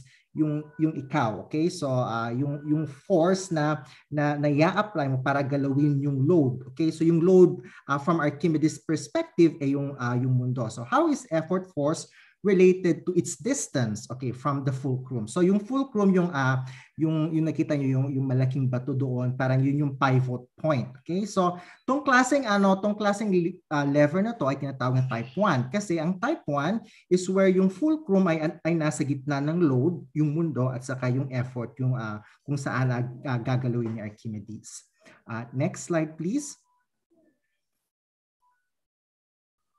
Okay, so ang claim natin, ang claim na ang, ang claim na gagamitin ko dito, the farther the effort from the fulcrum, the lesser force will be required. So tama nga ba ito? So well, ang sabi naman natin, ang claim either pwedeng suportahan natin or i-reject natin later on. So ginawa ko lang tong claim kasi of course, I mean, uh, kung maalala natin yung uh, pagbubukas ng lata, syempre hindi natin ginagamit yung kuko natin, di ba? So bakit nga ba? Syempre yung kuko, uh, napakaikli ang length niya. So para mas mapibilis yung ano yung effort, gagamit tayo ng say for example, uh, uh, yung uh, yung dulo ng screwdriver o yung uh, dulo ng ano ng uh, ng tinidor. Tapos pag inopen natin, alam natin ay napakadali. Uh, another application din yan is say for example uh, yung yung pag-use ng pliers. So alam naman natin na say uh, hindi naman hindi mo naman pipingutin yung mga yung mga yung mga junction ng mga joints, 'di ba? Ang, ang, ang gagawin mo, kukuha ka ng pliers. Syempre nakikita mo yung pliers, actually may yung distance ng kamay mo at saka yung uh, yung yung yung ano, yung yung bilog doon, yun yung parang para, parang yun yung kanyang fulcrum. So, ginagamit mo ang pliers para mas mapadali ang trabaho mo. Uh, next slide, please. Ayun, so uh, uh, gaga, uh, ang gagawin natin ngayon ay actually uh, hanap tayo ng evidence sa sa claim ni Archimedes tapos uh, titignan natin kung akma ba ito hindi. So uh, may may dalawa akong uri ng ano evidence. Yung first, yung experimental, yung pupwede mo pupwede mong uh, pupwede mong uh, i-manipulate at saka yung second, yung simulation. So ang objective ko sa experiment na ito, okay, is to verify the relationship of effort force, okay, to its distance away from the fulcrum given a load force and its distance. Okay? So uh, yung yung uh, setup ko dito ay nasa left hand side. So hindi ko na siya, uh, hindi ko siya vinidyo kasi uh, since lever ito napaka-sensitive niya sa ano variation ng ano uh, uh, yung uh, kailangan masyado akong ano very, very uh, magaan ang kamay ko dito para mag-balance. So, ang ginawa ko kinuhanan ko na lang ng picture kasi it would actually take time uh, para mag-stabilize yung ano yung lever. So, yung yung uh, yung experimental setup ko, yung load is actually on your left-hand side and uh, kinulayan ko siya ng ano ng pink background. Tapos yung effort is actually uh, uh, uh, yung yung may uh, yellow na background. So, uh, para mapadali ang buhay natin, uh, gumamit ako ng weights in order to represent force. Bakit nga ba? Siyempre, alam natin na sa physics, ang force ay equivalent to mass times g. Yung mass is usually in terms of kilograms, tapos yung g is actually uh, yung uh, gravitational force na 9.8 m per uh, s squared. So uh, yun yung gagamitin natin uh, uh, uh, para mag-represent ng force. Tapos uh, later on ipapakita ko naman yung simulation. The way na ano gagawin natin ito first dapat uh, we are going to let the student explore first yung mga uh, yung yung parameters ng ano ng ng experiment. So dapat hindi natin binibigay yung ano yung yung yung resulta kasi pag pag binigay natin yung theory agad-agad later on uh, usually ang tendency ng mga estudyante ay dinodoktor nila. So, uh, ganito, ang aking uh, suggestion. So first, i-explore nila yung setup. Second, uh, with the data na, na, na makukuha nila, uh, ito try nilang i-fit sa equation. Tapos yung third is actually yung simulation. Ang suggestion ko is sa experiment dapat yung teacher ang nagbibigay ng variables kasi para mas mapabilis actually yung uh, yung yung yung yung yung yung yung experiment. Tapos yung simulation, yung mga yung mga estudyante na ang bahala para uh, mag-manipulate ng variables. Uh, next next slide please. Okay, so uh, sasabihin of course, I mean para uh, uh, in order to start an experiment, kailangan natin magbigay ng, ng say for example, pre-lab discussion muna. So sa pre-lab discussion po pwede nating sabihin yung theory or yung illustration ng setup. Tapos po pwede rin na nating um, at least i-introduce man lang yung equation pero wag muna natin sasabihin uh, sasabihin ito. Pero yung uh, the way I'm going to discuss this since uh, nasa point of view tayo ng teachers, uh, sasabihin ko na yung equation. Pero pag tayo ang nag-design ng experiment na to, dapat secret muna yung equation, okay? So ito yung theory for a type 1 lever. So sabi ko nga type 1 yung fulcrum ay nasa gitna ng effort at saka load. So uh, kinolor code ko to. Yung effort, I mean, i, i, uh, kinolor ko siya ng ano ng blue tapos yung load kinolor ko siya ng red. 'di ba? Parang boxing may blue at saka uh, uh, red uh, red ring. So uh, ito yung uh, yung mga representations ko. So F sub L is actually the force from the load. So sa sa sa kay Archimedes yung load is actually the earth right? FE yun yung effort effort force. So yun yung parang uh, uh, i-move ni uh, yung effort na isusupply ni Archimedes tapos D sub L is actually the distance of load from the fulcrum. So kung makikita nyo yung double-headed arrow is actually the distance from the fulcrum to the load. D sub E is the distance of the effort from the fulcrum. Okay? So yung uh, yung blue, yung blue the double-headed arrow. Tapos yung units nito ay actually uh, uh, nilagay ko dito for as long as consistent ka. So say for example, pag gusto mong gum, uh, gumamit ng meters uh, sa sa distance, sa D sub L, dapat meters din yung D sub E. Kung gusto mo ng foot, dapat foot din. Tapos yung force, kung gusto mo lang Newton, dapat Newton din yung, yung nasa kabila. So hindi po pwedeng mag-Newton ka tapos magpa-pound force ka. Okay? So, sabi ko nga, I'm, uh, since teachers tayo, sasabihin ko na yung equation. So, yung equation for a type 1 lever, uh, ang, ang mahalagang equation dito ay F sub L, D sub L, equals F sub E, D sub E. Okay? So, uh, uh, pero for the purpose of our experiment, uh, kailangan i-rearrange natin yung equation so that uh, meron tayong D sub E equals F sub L over F sub E times uh, D sub L. So ito yung uh, yung theory. So ipapakita ko uh, sa inyo kung bakit mahalaga na alam natin itong equation kasi uh, gagamitin natin ito sa pagdidisenyo ng experiment. Next slide please. Okay, so ito yung experimental design. So noon iniisip ko kung paano i-design itong experiment, ano kayang gagawin ko? Ima-microscale ko ba or ima-macroscale? So sabi ko, ima-microscale ko siya. Actually, mas uh, maraming benefits ang ang microscale compared, uh, compared sa macroscale. So first, ang microscale ay less hazardous. So isipin ko, uh, makikita nyo mamaya pag, uh, ano kaya pag gumamit ako ng siso dito? Siyempre, pag nagsiso ka, ang weights mo ngayon ay mga bricks at mga bloke. Siyempre, napaka-hazardous nun. Baka mamaya, pag hindi ka naman hidilin dias, baka, uh, baka pag, pag binuhat mo yung bloke, I mean, uh, nahulog at saka na, na uh, tumama sa, sa paa mo. So, siyempre, ayaw natin ng ganon. So, kaya mas gusto ko ang microscale. Siyempre, ang microscale din are actually more more economical. So makikita actually natin sa sa ginawa ni Daang kanina, I mean, mga kutsa-kutsarita lang ang ginagamit niya. I mean, hindi ka naman po pwedeng gumamit ng galon-galon. Siyempre, I mean, magastos 'yon, di ba?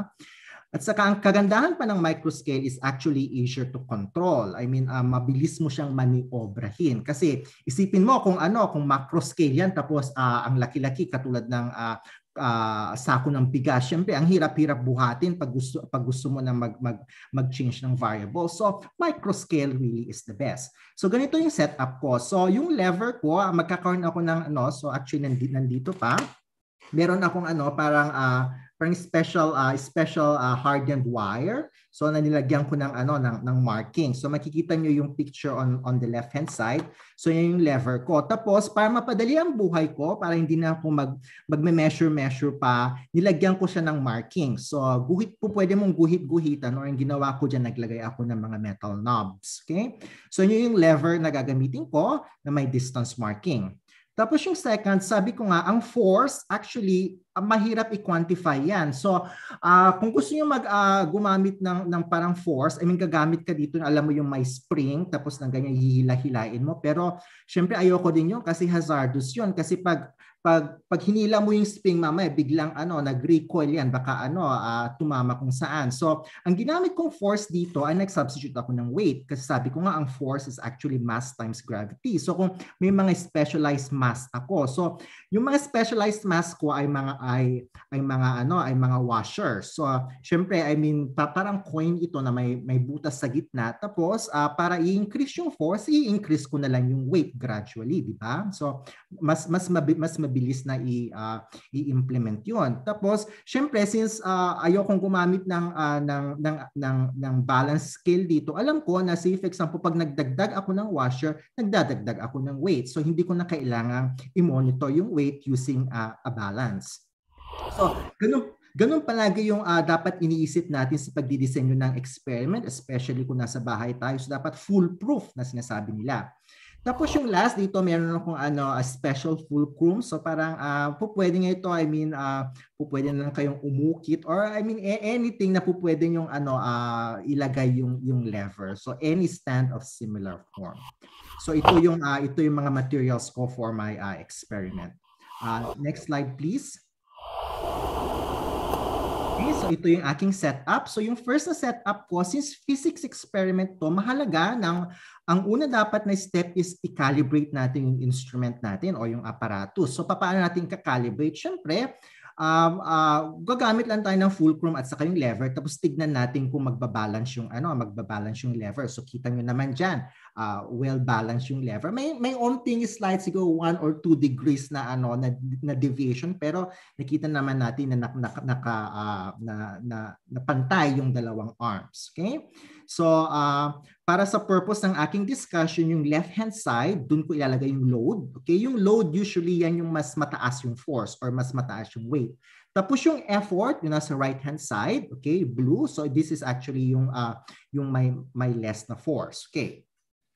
So, since physics ito, okay, mahalaga sa physics, kailangan i-define mo kung ano yung constant at saka variable. Kasi, syempre, physics is very quantitative, right? So, yung constant na, na, na, na, na gagawin ko is yung distance of the load from the fulcrum. So, uh, kailangan i-keep ko na siya ng constant. But kailangan mo gumamit ng constant sa physics physics experiment para mabilis makita yung trend. Okay? Kasi pag ang dami-dami mong variables na binabago, ah, malilito yung estudyante. So dapat palaging meron kang constant tapos meron kang variable. Okay, so yung variable na gagamitin ko is the distance of the effort force from the fulcrum. So uh, talaga i-designate ko siya ng blue na arrow. Okay, so next slide please. Okay, so uh, ito ang aking notes uh, notes to the teacher. So first, I mean, uh, ang gusto ko sana sa sa uh, sa sa lab experiment, dapat yung mga variables ay is i-assign ng teacher ahead of time. At saka alam din yung teacher na na uh, an, an, ano yung trend, I mean, para para pag nagtanong yung mga estudyante, dapat uh, well prepared siya. Actually, na-discuss ko na to kanina. So, design the forces or the weights. Ay, hindi ko pa na-discuss. Sorry. So, design the forces uh, uh, or the weights so that the ratios are actually in multiple. So, kung, kung makikita nyo to, I mean, meron akong washer. Okay, so yung washer, i-represent ko siya as 1 kilogram. Okay, so say for example, kung kunwari daw, I mean, ang isang, ang isang, uh, ang isang washer ay 1 kilogram. Tapos, syempre, nakita nyo dito sa, sa gitna na picture, meron akong bundle na may, actually, yung, yung nasa left-hand side, 12 na washers. So, pwede kong sabihin na, oh, kunwari 12 kilograms yan. Tapos, yung nasa right-hand side, uh, meron akong uh, 6 na washers, 6 kilograms yan. Tapos, from that, pwede ko siyang, uh, pwede ko siyang uh, pwede kong i-calculate yung force. So yung force is again mass times gravity. So yung since ang force kung gusto natin in newtons, so ano ano nga bang newtons? So uh, kilogram m over s squared. So force equals mass in kilograms times yung uh, yung gravitational uh, yung gravitational uh, pull which is 9.8 meters per s squared. Okay. So um Uh, makikita nyo dito sa ano sa chart sa baba, I mean nag-assign na ako so may mga setup ako. So setup A, B, and C tapos uh, nag-designate na ako ng mga forces. So F sub L, okay? So it's the force load. T sub L ito yung uh, ito yung aking uh, uh, distance of the load away from the fulcrum. Meron na akong F sub E which is of uh, the force uh, the force of the effort, okay? And the D sub E. So ang gagawin ang gagamitin nila ang gagawin ng mga estudyante uh, is actually, so nakita natin yung, yung, yung DL dito. So this is the, dis, uh, the distance of the load from the fulcrum. So makikita nyo lahat ay 2 inches. Okay, so yun yung constant ko. Okay, tapos yung D sub E, ito yung magiging aking uh, unknown, unknown na variable. So meron na kayong, ano, meron na kayong uh, pre-prepared, uh, pre-prepared um, FL at saka FE dito. So I think tong picture na to is for uh, setup B. So so meron kang 12 12 kilogram times 9.8 is actually 117.6. Tapos yung uh, tapos yung uh, magiging FE ko dito yung 6 6 times 9.8 is actually 58.8 okay newtons okay so ang gagawin ko uh, uh, gagawin ko lahat tong setups na to so A B and C then titignan natin kung ano yung D sub E okay And ito yung working equation natin. So D sub E equals F sub L over F, FE times DL. So makikita natin dito yung relationship ng DE at saka at saka yung nasa right-hand side of the equation. So in fact, ang mahalaga dito is actually the, the ratio of FL, yung load, uh, force of the load divided by FE, yung, uh, yung force due to the effort. Okay? So, uh, next na gagawin natin is magko-collect na tayo ng data. So, uh, next slide please.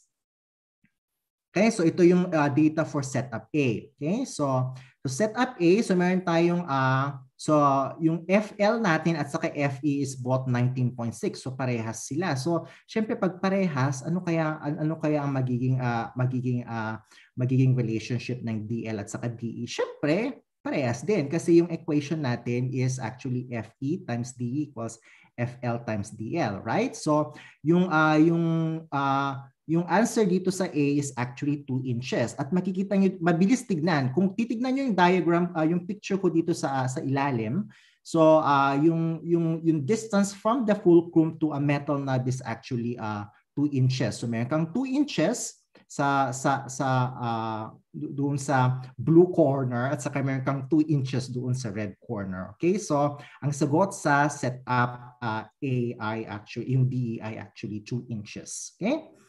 So, next slide please. Okay, ngayon, uh, gumawa naman tayo ng mas dramatic. So, kanina, 1 is 1 yung ratio ng FL at saka FE. Ngayon, yung setup B, makikita natin yung FL at saka FE ng ratio nila. So, 117.6 divided by uh, 58.8 is almost 2, right? So, so ano kaya magiging DE? So, since ang ratio is actually 2, Okay? Times yung DL which is 2 inches, dapat ang sagot sa DE is 4 inches. So kitang-kita naman natin sa ano sa picture sa ilalim. So uh, meron kang uh, mas mahaba na ngayon. Mas mahaba na ngayon yung ano yung distance ng ng effort uh, ng effort force ko away from the fulcrum. So in fact, yun, yun talaga yung ano yung basis ng uh, ng ng simple machines kasi ang load dito is actually uh, set up base 117.6 pero yung effort na kailangan mo para i-counteract lang yung 117.6 ay actually less than 107 uh, 117.6 which is 58.8.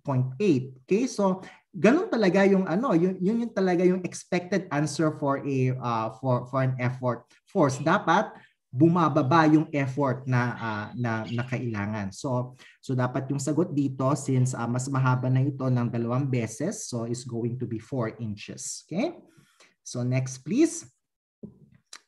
So yung setup C natin, so meron akong force load uh, 88.2, okay? FE 29.4. So alam na anong anong ratio ng FL at saka uh, FE is actually on three times, right? So ngayon, yung, yung DE natin is, uh, is going to be, so uh, yung ratio which is 3 times yung DL is 2 is going to be 6 inches. So nakita naman natin dito, mas mahaba na ng tatlong beses yung, yung, ano, yung blue line. So, so it's actually 1, 2, 3 times 2, 6 inches. Okay. So uh, yun yung uh, yun yung yun yung data na na aking makolek. So again, makikita natin dito yung FE ay usually mas mababa kaysa sa FL kasi mas ma, mas malayo na yung position niya from the fulcrum. Okay, uh, next slide please.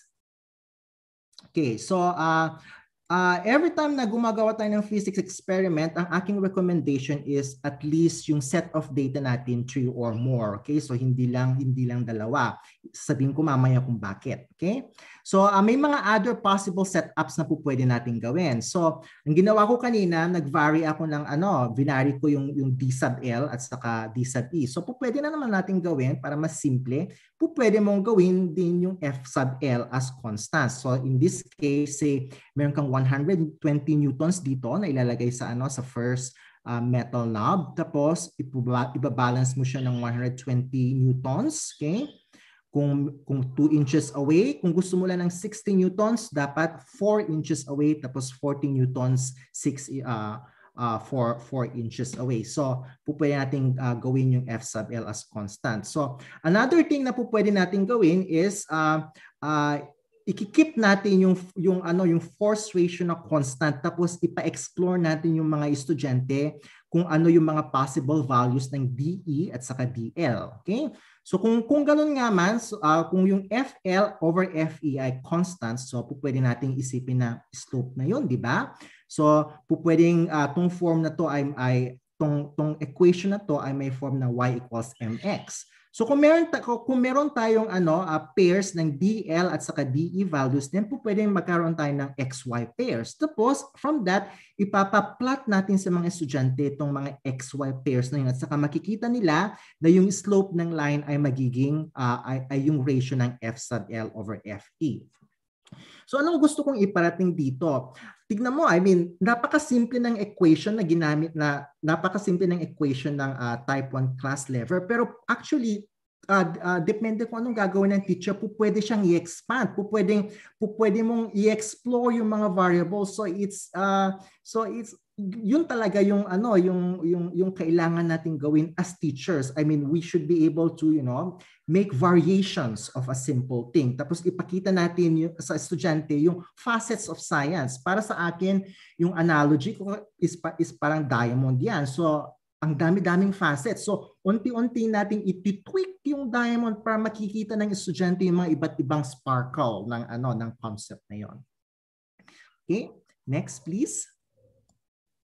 Okay, so uh, last syempre mahalaga na may uh, assessment. So um, naglagay ako dito ng mga ng tatlong post-lab assessments. So ang first, okay, so yung first na question ko, verify the results of the experiment using the equation below. Ito yung sinasabi ko, di ba? Yung first yung first na gagawin ng estudyante, hahanapin yung mga values pero wag muna natin sasabihin yung equation. Then, after that, sasabihin natin yung equation sa estudyante. Tapos, ipapasubstitute natin yung mga values na na-obtain nila sa experiment titignan nila if that equation holds true. Okay? So, napaka magandang bagay yun kasi ang equation is actually, how would I say, it's it's actually a succinct way to actually represent a physical phenomenon. So, uh, pwede mong i-state yung fact, yung trend in words, pero pag gumamit ka ng equation, napaka-generalistic ng equation. So, it's actually a compact and concise way.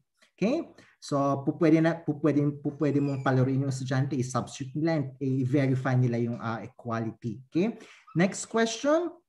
Given a constant D sub L, what is the relationship of DE to FL or DE to FE? Okay. Okay, so ito na naman yung sinasabi ko, dapat uh, matutunan natin at uh, dapat maturuan natin yung mga estudyante na magbasa ng equation. Okay, so nakita niyo yung DL, FL. So ano yung FL? Nasa numerator siya. So kung kung ganun nga ba, DE, FL, I, they, are, they should be directly proportional. Tapos yung DE, okay, at saka FE, ano, yung FE nasa denominator siya. So dapat uh, ang relationship ng D at saka FE ay inversely relation, uh, inversely proportional. So mahalagang uh, matutunan ng mga estudyante yung uh, mag-reason out from an equation. Okay? Then yung last na uh, last na last na last na question ko ito naman uh, dapat may application palagi, 'di ba? So hindi naman po pwedeng uh, uh, yung scientific rule or principle na alam natin eh hanggang hanggang sinusulat lang sa ano sa, sa notebook dapat makita na nila yung direct direct relevance. So look at the illustration below. Okay.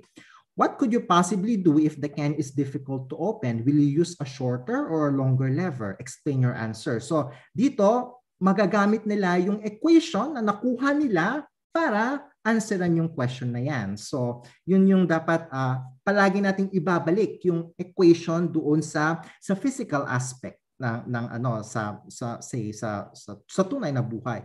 So actually, so ang ang answer dito dapat gagamit sila ng mas mahabang lever, right? Para para mas uunti yung force na effort force na gagamitin. So, so actually, yung third question na to is also uh, is also answering the question that I asked a while ago. Bakit hindi yung kuko ang ginagamit sa pag-open ng can? Kasi syempre yung kuko natin, ilang ano lang naman, wala pang 1 cm yan, di ba? So kung gumamit tayo napakahabang kutsilyo, mas mas mabilis siyang buksan.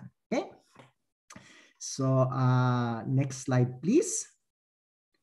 Okay, so ah, so ito na yung simulation. So actually yung simulation na ipapakita ko sa inyo ay ay hango din doon sa same na website na pinakita ni uh, Ma'am Joanne. So meron akong nakitang isa pang simulation pero may time limit siya. So ang dami-daming simulations sa na po pwede nating ma- mahanapan sa sa computer. Pero ang gusto ko sa simulations dapat yung mga students ang mag-a-assign ng variables. So kanina, yung experiment, yung teacher dapat ang mag-a-assign ng variables kasi mas mabilis mas mabilis yung uh, mas mabilis yung takbo ng experiment. Pag uh, nagpagawa ka ng hands-on sa mga bata at they, you let them do the variables, nako aabutin ta ng siyam-siyam. So dapat teacher ang nag-a-assign ng variables sa sa, sa hands-on experiment pero sa simulations na sa computer naman, let the students assign the variables. Okay? So, i-share, i-share ko na ngayon yung ano ko. Okay? So nakikita nyo. So so ito yung ano, ito yung uh, it, uh, ito yung, yung type ng uh, type ng lever. So uh, uh, let us actually continue using yung ano, yung convention natin kanina, load which is actually the one that is uh, has a higher force ilalagay natin sa left hand side. So pwede natin uh, gamitin si si si tatay na load. So ilagay natin dito kunwari ano anong magandang load dito say ilagay natin sa 0.5 meters away from the fulcrum. Okay? So ayan, nakaupo na si tatay. Okay?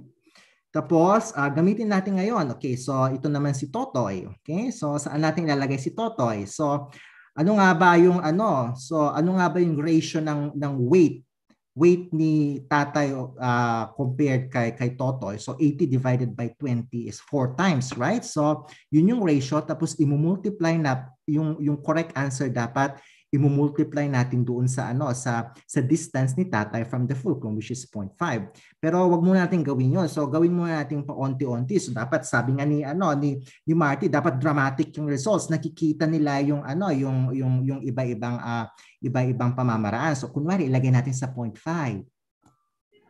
Ay walang nangyari. Lagay natin sa ano sa sa 1. Eh wala rin nangyari. Ilagay natin sa 1.5. Walang nangyari. Tapos ilagay natin sa 2. Ayan, so nag-balance na. So ngayon, ipapakita, uh, from that, makikita natin na correct yung equation natin. Ano nga ba yung equation natin? DE equals FL over FE times uh, DL. So yung ratio is 80 divided uh, is 80 divided by 20 so 4. Okay? So dapat yung distance ni Totoy away from the fulcrum is is 4 times yung distance ni tatay from the fulcrum. So 4 times 0.5 is going to be 2 meters. Okay, so ano ano anong impression natin ngayon dito? So pupwede kang uh, gumamit ng mas mababa uh, bababa yung effort force mo habang lumalayo ka away from the fulcrum. So yun yung yun yung mahalagang ano, yun yung mahalagang um, mahalagang uh, conclusion na actually uh, na makukuha natin from our experiments and uh, in this uh, in this simulation. Okay? So uh, babalik na ulit ako sa ano sa babalik na ulit ako sa sa mga experiments ko. Uh, uh, asa na yung slides ulit? Okay, so uh, next slide. Yun. So ito yung reasoning natin. So ngayon, I mean, malapit na tayong matapos dito kasi nakakuha na tayo ng, uh, ng, ng, ng initial idea. So yung reasoning natin, okay, so based from the CER model, na ngayon, ililink na natin yung claim at saka evidence. Okay, so So, pupwede natin i-summarize yung uh, yung uh, yung re, yung yung reasoning natin. I mean with this uh, with this uh, representation. So, ang reasoning actually it could take a lot of forms. So, it could actually take in the form of an equation, it could take in the form of a graph, a model, a logic or a trend. So, ang dami, ang dami natin po pwedeng gamitin. So, gusto ko dito uh, ipakita I mean in the form of of an of an equation or say uh, with this an illustration. Okay? So, makikita natin natin dito the farther the effort is away from the fulcrum okay yung uh, yung yung blue na line the lesser is the force required okay? Nakita mo naman i mean tung load nito parang ang laki-laki tapos uh, ginam, ginam, ginamitan mo lang ng ano ng, ng ng ng daliri in order to balance. And this is actually uh, what we are going to expect actually when we are going to look at the equation. So say for example uh, kung kung mataas yung ano, kung mataas yung uh, yung ratio ng FL over FE, okay? Dapat uh, magiging mataas yung yung distance ng uh, effort force away from the fulcrum. So to mahalaga na yung mga students ay dapat uh, mag-reason out from an equation. Okay. Ngayon, naka, na, nakakolekta na, nakakolekta na tayo ng uh, sapat na reasoning. So, next slide please. Balikan natin si Archimedes. So, totoo nga ba yung sinabi niya? So, ano nga ba yung sinabi niya?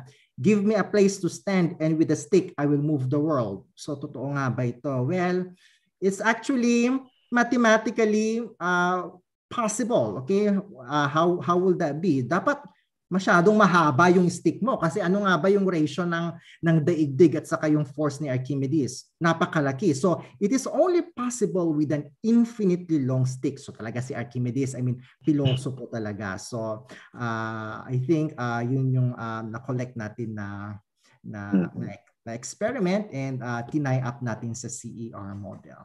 Yeah. Okay so uh, next slide please. And oh see uh, I think it's this ayun so yun po yung last slide ko. Uh, thank you very much for listening ngayon. I mean, we have to uh, to open uh, open our doors for Mr. Marty Mateo. So ito yung kanyang uh, bi- biology experiment. Ayan, thank you. Thank you, Sir Chester. Grabe yung discussion ni Sir Chester dun sa physics. Ano, kitang-kita mo yung uh, enthusiasm dun sa pagdi-discuss ni Sir. So sa akin naman po, uh, vinidyo ko na para isang ano na lang, parang this you can uh, splice this such that pwede nyo gamitin sa synchronous or pwede nyo rin gamitin sa asynchronous kasi yung post-lab discussion is incorporated already with the videos na ginawa ko about uh, food biology or enzymes. Yan. So magpapakita lang po ako ng dalawang magkasunod na videos ito. Actually, two days ko siyang pre-prepare. Tsaka uh, ginagawa namin to before dun sa volunteer work ko. So may, uh, ang special, uh, nagsispecialize kami dati dun sa mga homemade experiments. So these are homemade experiments na i-share po namin sa inyo. Tapos uh, pwede na rin pong, uh, actually itong mga nabanggit namin kanina na on how to design the experiment ay all all all are incorporated dito sa uh, experiment na gagawin namin mamaya. So, uh, gagawin, uh, ipe-play ko ngayon. So, uh, wait lang, magsa-stop share po muna.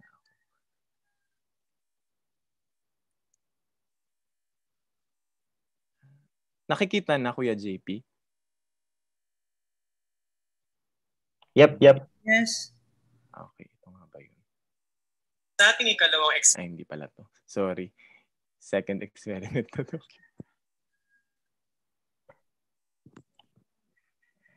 So ayan, uh, maraming salamat po sa mga uh, viewers natin from the our YouTube live stream. So parang very uh, appreciative po sila kay Sir Chester sa uh, inyong presentation. Galing-galing, sabi ni Ma'am Raquel Bernal. Ating unang eksperimento ay tatawagin nating degradation of hydrogen peroxide. Para sa eksperimentong ito, ang gagamitin natin ay plastic cups o kahit anong container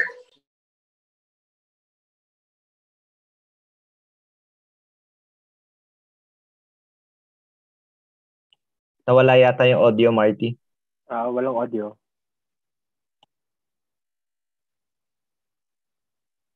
Ayan, sige. So, hindi ko pala na-share yung sound. Sorry.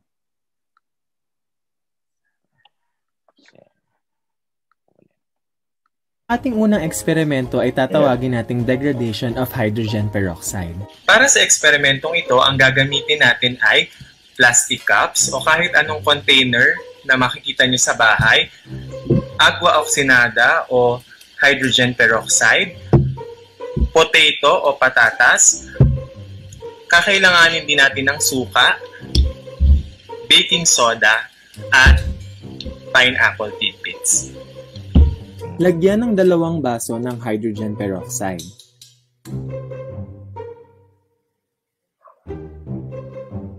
Ang unang baso ay lagyan ng isang strip ng patatas. Obserbahan kung anong mangyayari. Habang tumatagal, makikitang merong mga bulang namumuo mula sa surface ng patatas.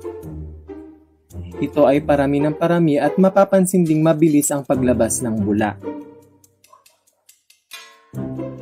12 seconds later. Sa kabilang banda ay kumuha ng pineapple at ilagay sa hydrogen peroxide. Obserbahan kung anong mangyayari.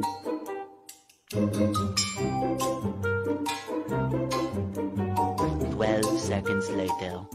Walang bulang lumabas sa pineapple kumpara sa patatas. Bakit kaya nangyayari ito? Ngayon naman ay pagkumparahin natin kung paano ang pagbula kapag nilagyan natin ng suka at ng sodium bicarbonate ang patatas. Ito ay binabad ng limang minuto sa suka. Makikita natin ang pagbula.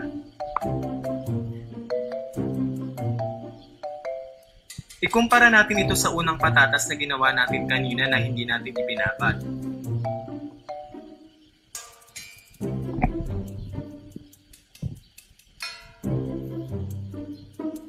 Makikita nating halos walang bulang lumalabas.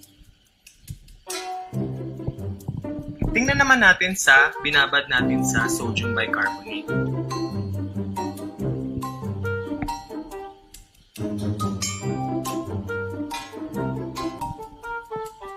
Makikitang meron pa rin bulang lumalabas. Ngunit, kapansin-pansin na mas mabagal ang pagbula nito kumpara sa patatas na hindi ibinabad.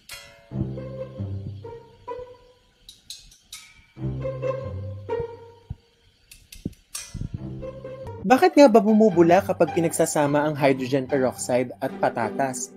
Ang patatas ay may enzyme na tinatawag na catalase na siyang nagkakapagpahiwalay ng hydrogen peroxide upang mag-produce ng tubig at oxygen. Ah, ika nga'y walang forever. Ang nakikita niyong bula ay ang oxygen gas na napoproduce sa degradation ng hydrogen peroxide. Ngunit ano nga ba ang mga enzymes? Ang mga enzymes ay isang grupo ng biological compounds na maituturing na catalyst sa iba't ibang biological reactions sa mga cells. Dahil ito ay isang catalyst, pinapabilis ito ang mga reactions sa ating katawan sa pamamagitan ng pagbibigay ng alternate pathway na mas mababa ang activation energy, kaya nagiging mas mabilis ang mga reactions. Ngunit bakit walang bulang nakita sa pinya at hydrogen peroxide? Ang table na pinap yun pong explanation nun sa susunod na video. So, uh, ito, itutuloy ko lang din yung discussion dito. Hmm. Kung bakit walang bula doon sa pineapple. Uh, mm-hmm. ito, ito, ito naman din sa effect ng pH. Makita ngayon ang summary ng observation na nakuha natin sa ating eksperimento. Makikita natin na pinakamarami at pinakamabilis ang pagbula o pagdegrade ng hydrogen peroxide sa patatas na hindi ibinabad. Mas kakaunti ang pagbula na nakita sa patatas na binabad sa baking soda habang walang bulang nakita sa patatas na binabad sa suka. Ito ay maipapaliwanag sa pamamagitan ng pH at enzyme activity. Ang enzyme na catalase ay pinakaaktibo sa pH 7 to 9 at bumababa o nai-inhibit ang activity nito habang tumataas o bumababa ang pH. Ang pH na pinakamataas ang activity ng enzyme ay tinatawag nating optimum pH. Ang iba't ibang enzyme na present sa ating katawan at maging sa mga halaman ay may iba't iba ring optimum pH, katulad na lamang ng mga enzyme na matatagpuan sa ating stomach kung saan ang mga enzyme na ito ay mas gumagana sa mas mababa or acidic na pH. Ayan, so yun po yung first video. So, isha-share ko lang yung pangalawang experiment para mm-hmm. ma makita natin yung explanation naman dun sa pineapple. Mm-hmm.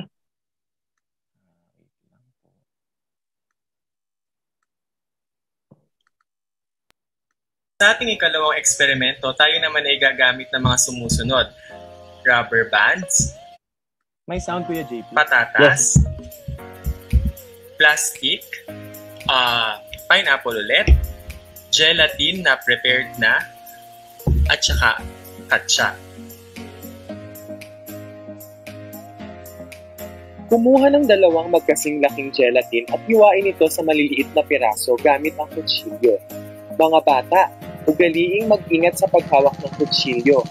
Kung meron kayong plastic knife ay mas makabubuting ito na ang inyong gamitin.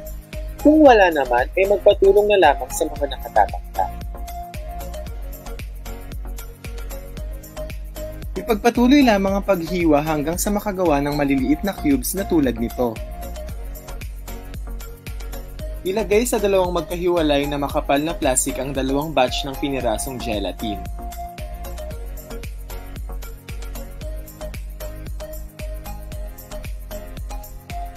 Ngayon naman ay kumuha ng magkaparehong dami ng patatas at pinya.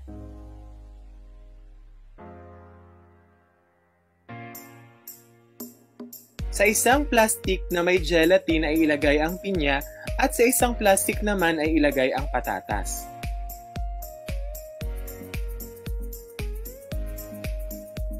Tanggalan ng hangin ang dalawang plastic bag bago ito itali sa pamamagitan ng rubber band.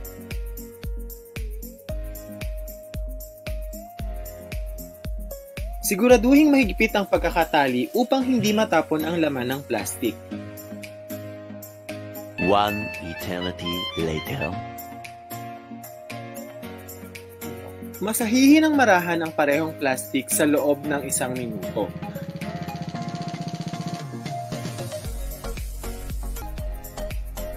Matapos masahihin ay ilapag lamang ito at hayaan sa loob ng 5 hanggang 10 minuto. Habang naghihintay ng 10 minuto ay mag-prepare ng salaan na gawa sa katsa at plastic cups na tulad nito. One eternity later. Isalin ang laman ng parehong plastic sa magkabilang salaan at hayaan itong mag-filter sa loob ng 5 minuto.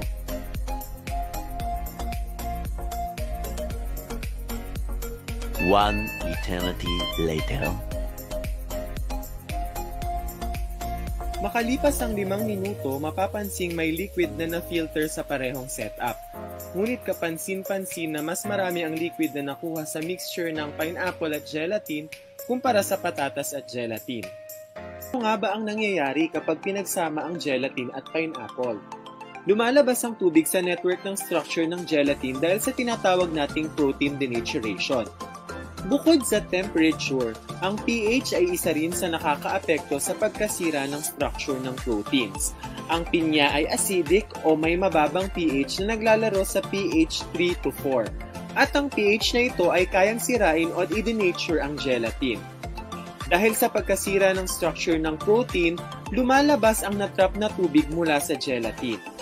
Ito rin ay pwede nating sabihin sa patatas ang patatas ay merong pH na naglalaro sa pH 6 to 6.5, kaya ito ay slightly acidic. Kakaunti lamang ang tubig na nakawala sa gelatin dahil sa mahina ang acidity ng patatas. Bukod sa mababang pH ng pinya, ito rin ay may enzyme na tinatawag na bromelain. Ang bromelain ay kabilang sa mga proteases. Ang mga protease ay isang group of enzymes na nagkikleave o pumuputol sa peptide bonds na mahalaga sa process ng digestion. Dahil sa pagkaputol ng mga peptide bonds, ang tubig mula sa protein network ng gelatin ay nare-release din. Kaya nagkakaroon ng maraming tubig na nafi-filter mula sa mixture ng pinya at gelatin. Kahapon ay natanong natin kung bakit hindi nagre-react ang pineapple sa hydrogen peroxide. Ngunit ngayon naman, nakita nating nag-react ito sa gelatin. Tingnan natin ang table na ito. Naka-flash dito ang summary ng dalawang experiments na ginawa natin kahapon at ngayon. Ang pinapakita sa table na ito ay specific ang mga enzymes sa kanilang mga substrates. Upang mas maintindihan natin ang enzyme specificity, nag-drawing ako ng itsura ng enzyme at ng substrate. Tangi ang substrate lamang na geometrically compatible sa active site ng enzyme ang makakapag-react dito. Ito ay ang illustration na tinatawag nating lock and key model. Ibig sabihin, ang mga enzymes ay magre-react lamang sa mga substrates na sakto o compatible sa kanila. Sabi nga nila, sa dami-dami ng tao sa mundong ito, iisa lang ang nakatadhana para sa iyo. Parang ganun din ang mga enzymes. Kahit ipagsiksikan ng ibang substrates ang sarili nila sa mga enzymes ay hindi magkakaroon ng reaction sa pagitan nilang dalawa. Sabi nga'y, walang spark. Ngunit kapag nakita na niya ang substrate na para sa kanya, ay magkakaroon agad ng spontaneous reaction sa kanilang dalawa. Ganun ang spark. Ayan, so ganun po ang spark. uh, uh, yun po yung dalawang experiments na nagawa ko about enzyme. So, uh, homemade experiments po yan. So, ngayon naman po, pupunta po ako dun sa simulation na experiment na ginagawa ko. So, for actually dito sa simulation experiment na gagawin natin, nandito na rin yung mga post-lab discussion or yung mga post-lab questions. Yun yung kinaganda nitong uh, virtual simulation and uh, experiment na nakuha ko from the internet. So, ang pangalan niya is Bioman. Ayan. Tapos ang nakalagay dyan, it's a game, it's a virtual lab, it's enzymatic. Kasi totoo, may games talaga siya na nilalaro dun sa uh, sa dito sa virtual lab na yan. So i-post ay i-open ko mamaya itong ano na to, itong uh, website. So anong meron dun sa mga website? Ito nakalagay diyan tinan niyo. Sa main menu, meron kang pwede mong i-click yung what are enzymes, specificity, experiments, quiz, go to score sheet. So iba-iba yung mga pwede mong i uh, ilagay diyan. So dun sa under ng specific sa uh, sa pH pala sa effect of, ng pH makikita mo yan. So you will determine how temperature, pH and substrate concentration affect enzyme function by performing some virtual experiment. So doon naman sa so maraming virtual experiments diyan may temperature, pre, uh, pH at substrate pero ang ipapakita ko lang is yung sa pH kasi yun lang yung ginawa natin doon sa experiment. So yan. The pH scale is way to measure how acidic or basic a solution is. So, i-click mo lang yung OK. Pag na-click mo na yung OK, mapupunta ka dito sa slider. So, ipapakita ko to sa inyo sa website. Sorry.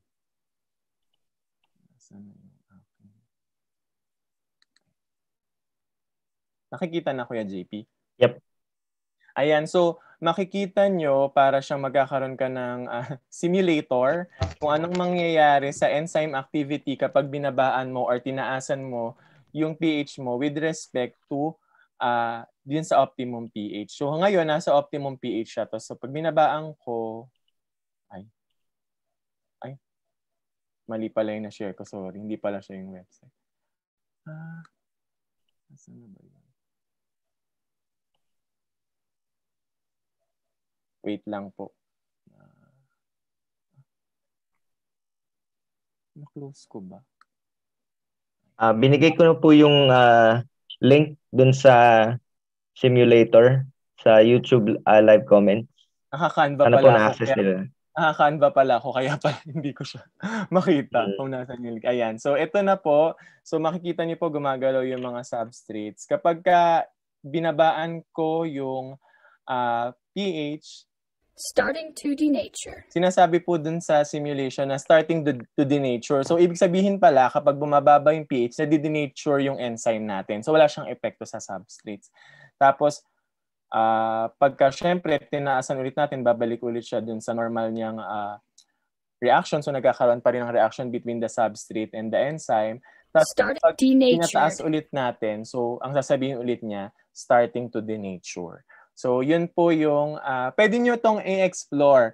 Meron din siyang effect of temperature tsaka effect of substrate. So, babalik lang po ulit ako dun sa aking Canva. Stop share.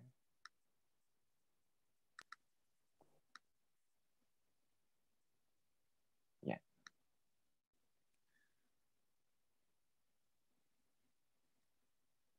Ayan. So, ang maganda rin dito, dun sa enzyme specificity na part, meron din talaga siyang mga discussion before ka pumunta dun sa simulation or dun sa game. Katulad nito, uh, dinide- dinedefine niya kung ano yung active site, kung ano yung substrate, kung ano yung enzyme, before ka mapunta dun sa game. Tapos after that, ayan yung game na lalaruin mo. So, yung Mm. mga cursor mo, yung mga enzymes, iba't iba yung shape niya ng active site, tapos yung mga substrate mo bumababa. So, ang aim mo lang is ma malagay yung substrate sa tamang enzyme para magkaroon siya ng reaction. Tapos may lalabas na product para maghihiwalay yung uh, substrate mo. So, ay. So, ayun. Ayun po yung uh, uh, for the simulation part nitong sa aking uh, enzymes. Ang maganda pa dito, parang hindi ko nakita yung isa kong pinis na. ano. Ayan. So, meron ding mga mini quiz. So, hindi natatapos dun sa sa mga paglalaro nung uh, nung simulation or nung virtual lab, meron din siyang mini quiz. At ang maganda pa dito, hindi ka makakatuloy dun sa mga next part kapag ka hindi mo natama yung mini quiz. So, uh, pwede nyo tong i-explore. So, maganda tong, ito yung sinasabi ko, pwede kayo mag-insert ng low-stake ass- assessment in between the parts. So, dito sa, sa, sa virtual lab na to, meron siyang mga low-stake assessments like multiple choice problems in between dun sa mga discussions nila per part ng experiment. So, just to summarize, ayan, yung sinabi po namin kanina, the, lab, the laboratory alphabet. So, ito po yung mga uh, nakita naming essential na factors uh, kapag nagde-design ka ng laboratory experiment. Of course, yung sinabi ni Ma'am Daang kanina, yung kailangan available yung ating materials and you should balance your expectations with your resources. And yung pinapakita ni Sir Chester kanina at pinapakita rin naman sa lahat ng experiments na ginawa namin, yung Claim Evidence Reasoning or CER model, Also, meron dapat siyang directed for future discussion and enhancement of re- results. And lastly, focus on content and not technology. And to end this talk, uh, we will share a quote. Actually, kay galing kay Sir Chester to eh. Uh, sabi ni Louis Pasteur, without laboratories, men of science are soldiers without without arms. So that's how essential the laboratory part is sa mga estudyante natin because uh, these are actually their armors kapag uh, in learning. So pwedeng pwede natin siyang i-reinforce yung mga yung i ano natin to parang hindi naman natin pwedeng isabak yung mga estudyante natin sa war ng walang weapon. So ang weapon nila is the laboratory.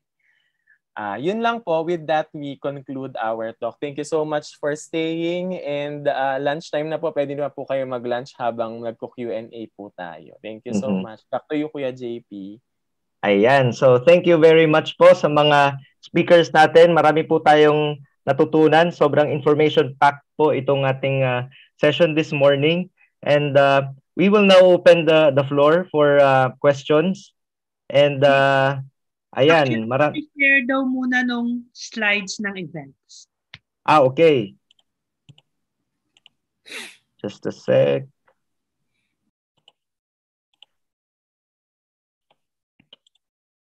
Mm-hmm.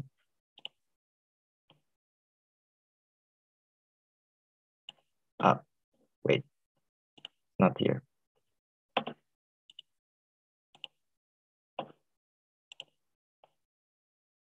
So ayan, wala akong nakikitang masyadong questions. More of like a appreciation talaga dun sa mga uh, pinresent kanina nila Sir Chester.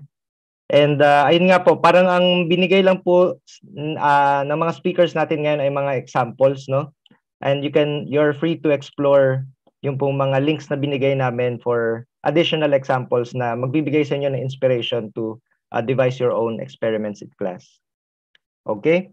So, but before anything else, uh, before the, the Q&A part, we would like to uh, share uh, some of our uh, upcoming events um, this August. So, uh, ang next po natin na, na event is uh, generating engagement kasi uh, doon po sa last, um, doon sa first webinar po namin sa STEM teaching uh, webinar series, uh, na, na, na-raise po yung issue ng engagement uh, among students. So, um, ayun po, uh, we invited uh, Professor Elmerico Mojica from the Pace University to talk about generating student engagement. And uh, this is happening on August 11 uh, at 10 a.m. Uh, Philippine time. So ayun po. Uh, if you, uh, we can share the, the, the link for the registration later.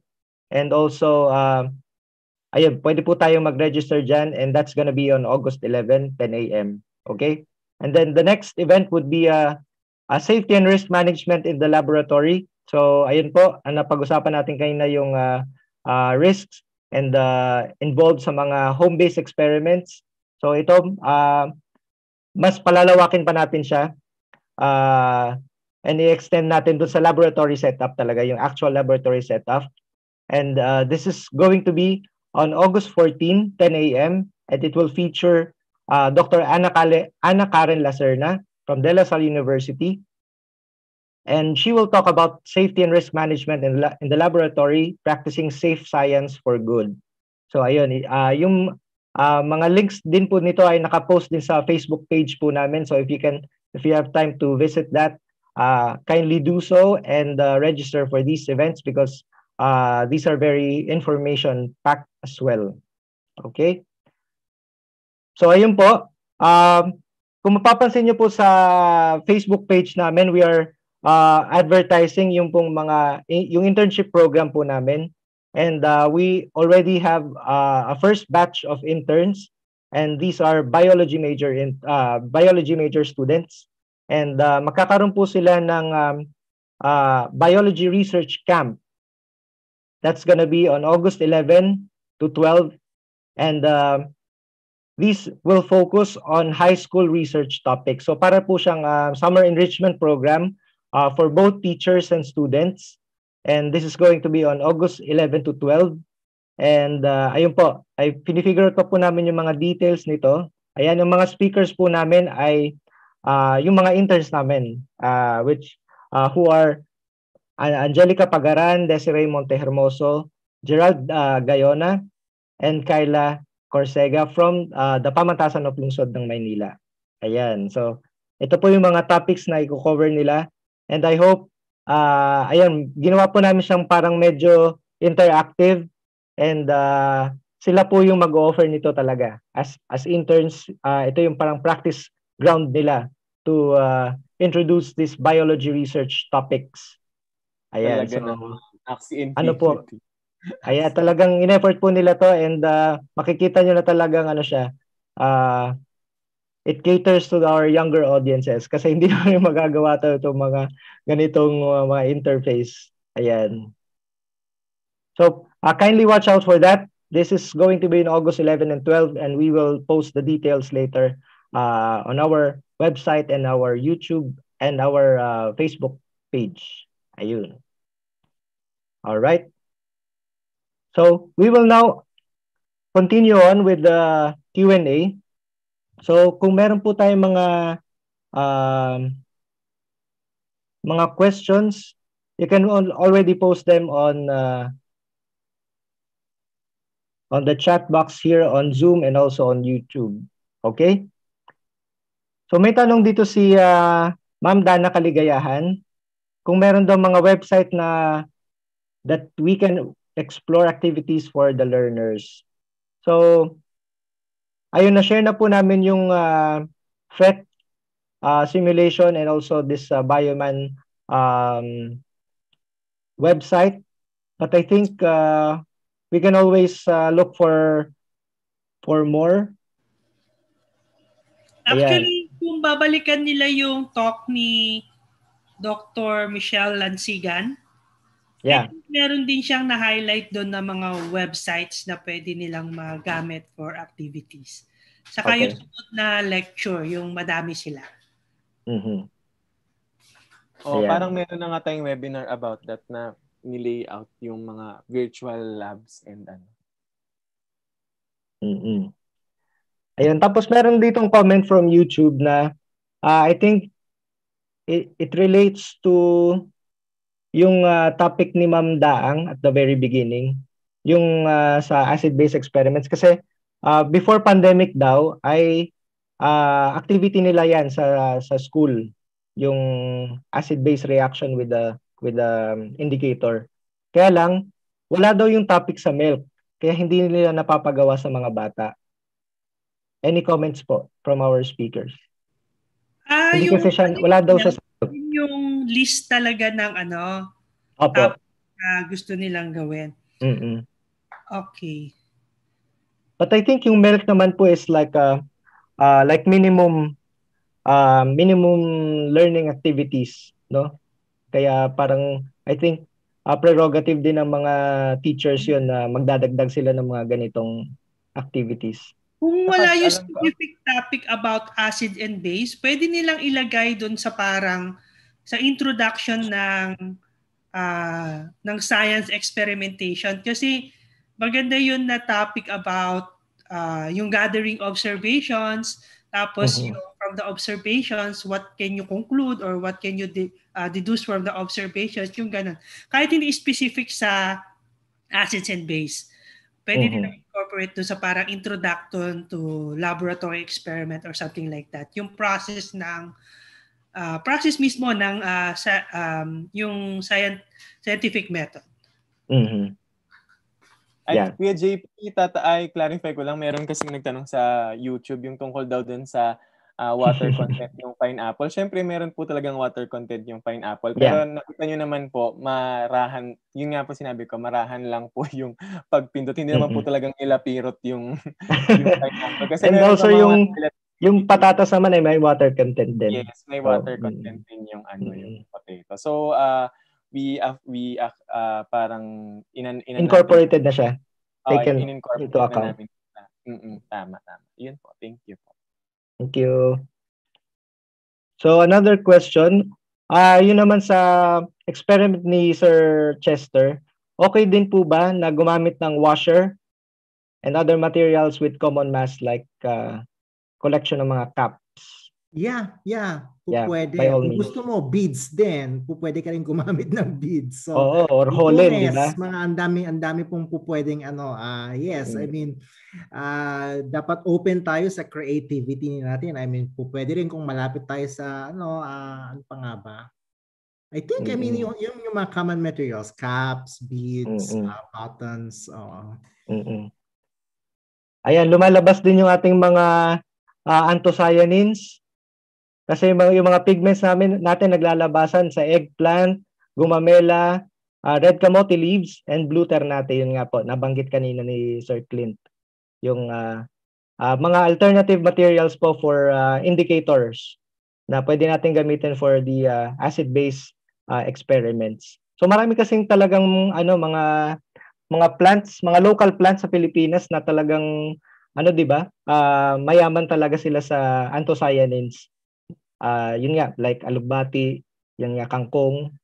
Pa- Papakuluan nyo lang po 'yan tapos ayun, parang meron na kayong indicator and pag dinagdagan nyo ng acid tsaka base, magbabago ng kulay. So yun lang po yung ah, basic idea ng experiment na experiment na nabanggit na yun. Sabi ni ah, Sir Josel.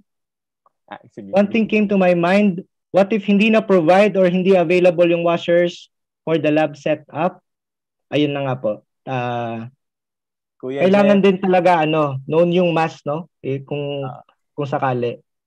Kuya Jeff, may nakalagay dito. Gumawa ka daw ng laboratory manual template for online laboratory experiments. Gumawa daw tayo Mm. ng template Yun, that's the para dream. worksheets. Mm-mm. Lang, o yan, game, game. Hello po, na-disconnect po ako, hindi po ako makapasok.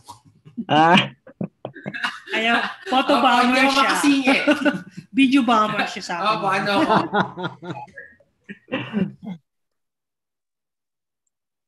Oh, So, yung Siyempre, laboratory manual template mm-mm.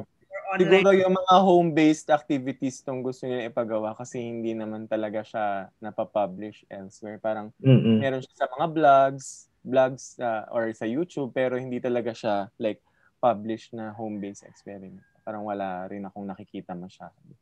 Ito. Tapos marami ding mga na, um, na-share na insight si Ma'am uh, Manolita White. So, yun talaga, parang uh, science, science teachers must communicate with parents for safety, point out the value of activity, and the assurance of close monit- monitoring of the activities. Yung nga, pinaka, safety is our utmost uh, priority sa mga home-based experiments na to. We can never uh, stress that enough. And uh, ayun. Once once established uh, and they do it right, they can share it with family and friends. Uh, ayun nga po, parang uh, pag na pag natutunan to ng mga estudyante, parang they will know it enough to teach uh, their family members and their friends uh, which which will enable them to conquer the fears. At saka yung yun nga daw, yung cloud of secrecy nitong mga experiments na ito. Ayan. Actually, JP, kung ano, Yep. kung medyo concern talaga nila yung safety, pwede nila halimbawa, yung pagsasaing. Mm. Gagawin naman talaga yun ng bata eh. Tapos pwede nilang, Mm-mm. so, yung kanin, di ba yung paglalagay ng tubig? Bakit ba Yep. dapat enough lang? Bakit hindi siya masyadong madami? Kasi di ba masyado siyang ano, mabasa. Kasi hindi Mm-mm. na-absorb nung, nung bigas yung water. Oo. Yun, pwede nilang i-explore yun. Kasi ginagawa yun ng bata every day or three Oo, times. mapapagalitan ka pag masyadong basa yung kanin. Yung observe Diba? lang niya ginagawa niya. And then sometimes, naglalagay ng suka dun Mhm. sa, sa biga, ah, sa kanin kapag ka, ano, pag medyo luto na, lalagyan ng suka. Ah, that is said minsan na para ma-retard yung spoilage. Para, o pwede nilang, Mhm. bakit kaya? O yung mga ganong mga bagay na Mm-mm. na pwedeng hindi talaga nila directed na utusan yung bata na mag-experiment kasi ginagawa naman yun sa bahay nila. Part yun na chores ng bata, yung pagsasaing. So pwede nilang i-direct yung mga questions sa ganun. Mhm. Ayan. So parang bakit walang nagtatanong? kanina ba ako naghahanap ng question? Ayan, so para masyadong ano, uh, tinatanong lang nila eh kung uh, ma, ma mapopost ba yung mga link nung uh, nung video. So ayun po yung uh, YouTube link na binigay po namin sa uh, confirmation. Y- yun lang din po yung babalik-balikan natin for the uh, recording of the session. So ayun. Ang daming uh, appreciation post dun sa mga topics na binigay ngayon. So magagamit daw nila sa mga uh, respective classes nila. And looking uh, forward to more uh, contextual contextualized contents like electromagnetism. So ayan, naghahanap naghahanap po kami ng mga resource person dito. So kung may may suggest po kayo kasi uh, as you all know parang uh, mga we are all chemists here. So talagang kaya nagano po kami. Uh, we try we try to bring in as much uh, people para po uh, uh, rich po yung yung uh, library natin ng mga expertise. Ayan. Kaya hindi po yung ginawa ni Martin na may hugot din po kayo kapag nag-explain. Oo. Benta po yun sa mga bata. Ito. Suppose I'm going, uh, sabi ni uh, Clinton Imbong, uh, sup, uh, suppose I'm going to make sets of home-based laboratory activities in chemistry. I just want to ask if, if uh, what, what is the general format for making the laboratory activity sheet? Sa YouTube yan. So parang ano ba to? Yung uh, yung ginagamit lang din natin uh, before na parang uh, title, yung format Ah, Ayun, di ba pa? Oo, parang yung sa laboratory exercise natin uh, da. Pero mm-hmm. depende rin sa inyo eh, katulad ngayon Mm, depende rin sa inyo, eh, katulad nga yung sinabi ko kanina, pwede kayo mag-start agad dun sa methodology. Tapos in between the methodology, mag-introduce kayo ng mga concepts para halimbawa, what did you observe? Tapos di nag-observe, naglagay sila ng observation. Tapos lagyan nyo ng discussion about, kunwari, enzyme, ganyan. Or tapos after that, proceed to the next step. Tapos what observation did you see? Tapos after noon, pwede ulit kayo mag Meron din ganun sa mga laboratory exercise natin for sure. Hindi lahat nasa ano, mm-hmm. hindi lahat hindi lahat na, hindi lahat nasa pre-lab discussion. Mm-hmm. Parang may ganun sa ano natin, yung mga sa 120.1, yung mga mm-hmm. ano tawag doon? Yung ano sa sa papel lang. pre-lab or hindi drill, drill nga. Ah. Yung drill na para at saka sa Chem 40 may ganun, 'di ba? Yung sa pag-ano-ano ng mga stereoisomers. Parang hindi siya talaga laboratory. Parang after mong gawin 'to, mag uh, magde-describe ka kung ano nangyari tapos i i parang i ang tawag doon, i-identify mo kung anong isomer 'yon. Tapos after that, mm-hmm. magkakaroon ulit ng bagong discussion ng general topic tapos ipapagawa sa yung mga ganito dun sa sa material. Mm-hmm. Tapos after that, 'di ba parang may ganun din tayong design ng parang ano, ano yung pwede mong bigyan yung yung method mo na yung kung ano yung ipapagawa mo ta o a slight discussion about kung ano yung kung ano yung Concept. topic na ipapagawa mo tapos diba, kung experiment to ano yung observations pa-note mo tapos yung sinasabi ni Marty, pwede na rin niyang i-explain yung kung ano yung makukuha niyang uh, conclusion doon sa observation. Pero yung, pwede ganon yung activity sheets kasi di ba para sunod-sunod o nare-relate na niya kaagad yung na-observe niya. Mm-hmm. Okay. So we have uh, an anonymous question here from uh, Zoom. Um, I just want to ask if uh, the CER model is for simple experiments only. How about uh, experiments or science activities that are aligned using the engineering design process? Talking about STEM. Uh, so yung CER model is actually used for uh, mainstream STEM uh, applications. So I think, I mean, mm. maski engineering, uh, po pwede. So yeah.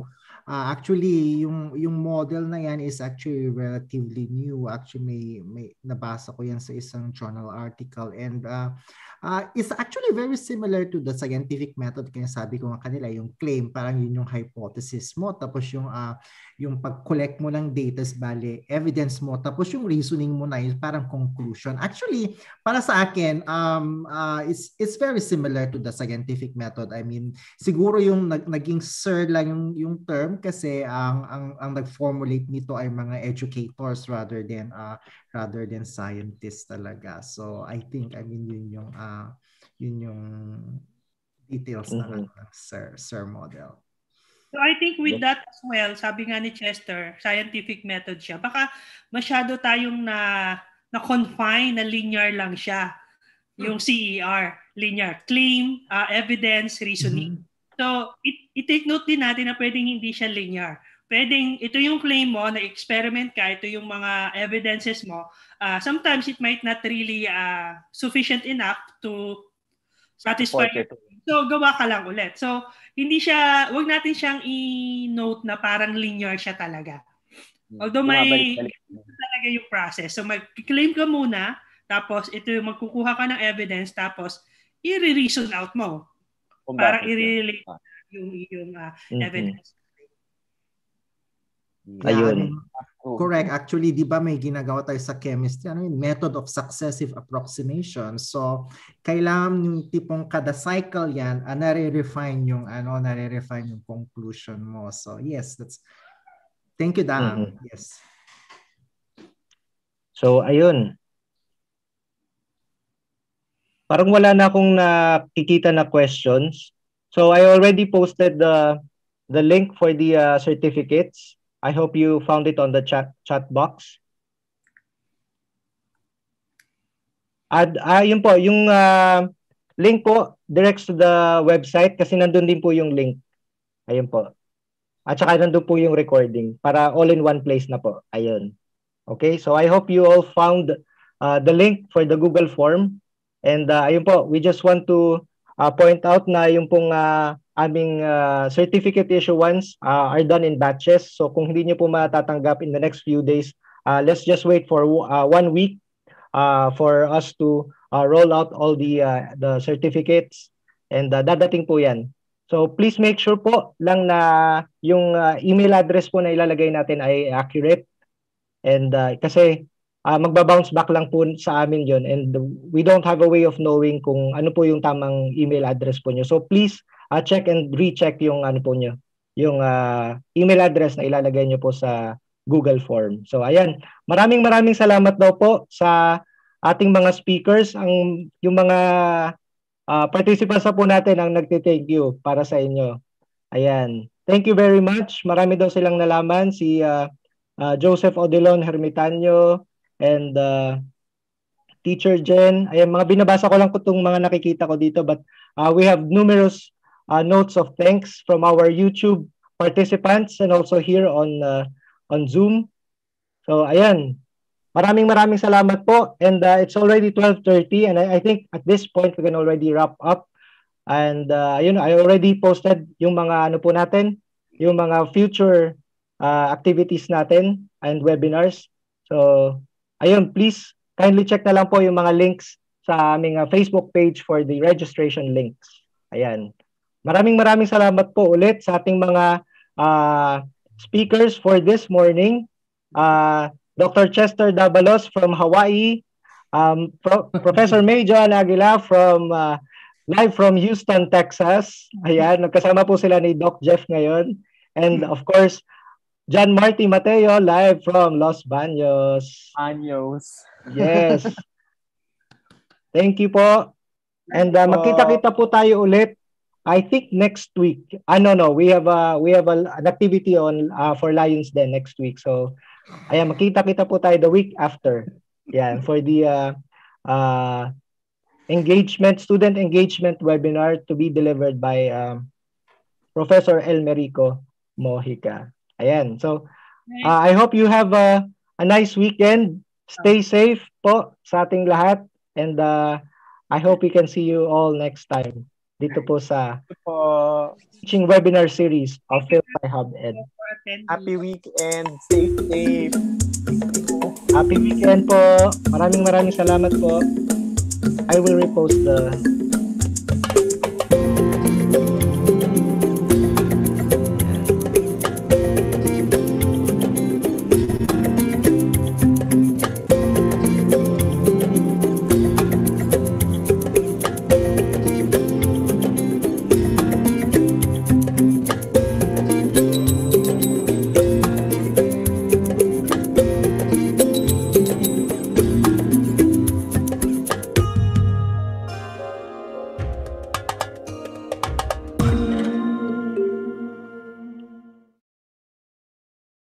So yung ano po, yung uh, link for the certificate I will also post in the uh, video description on YouTube. So kung, uh, kung may mga magre-request po, kindly refer na lang po sa kanila.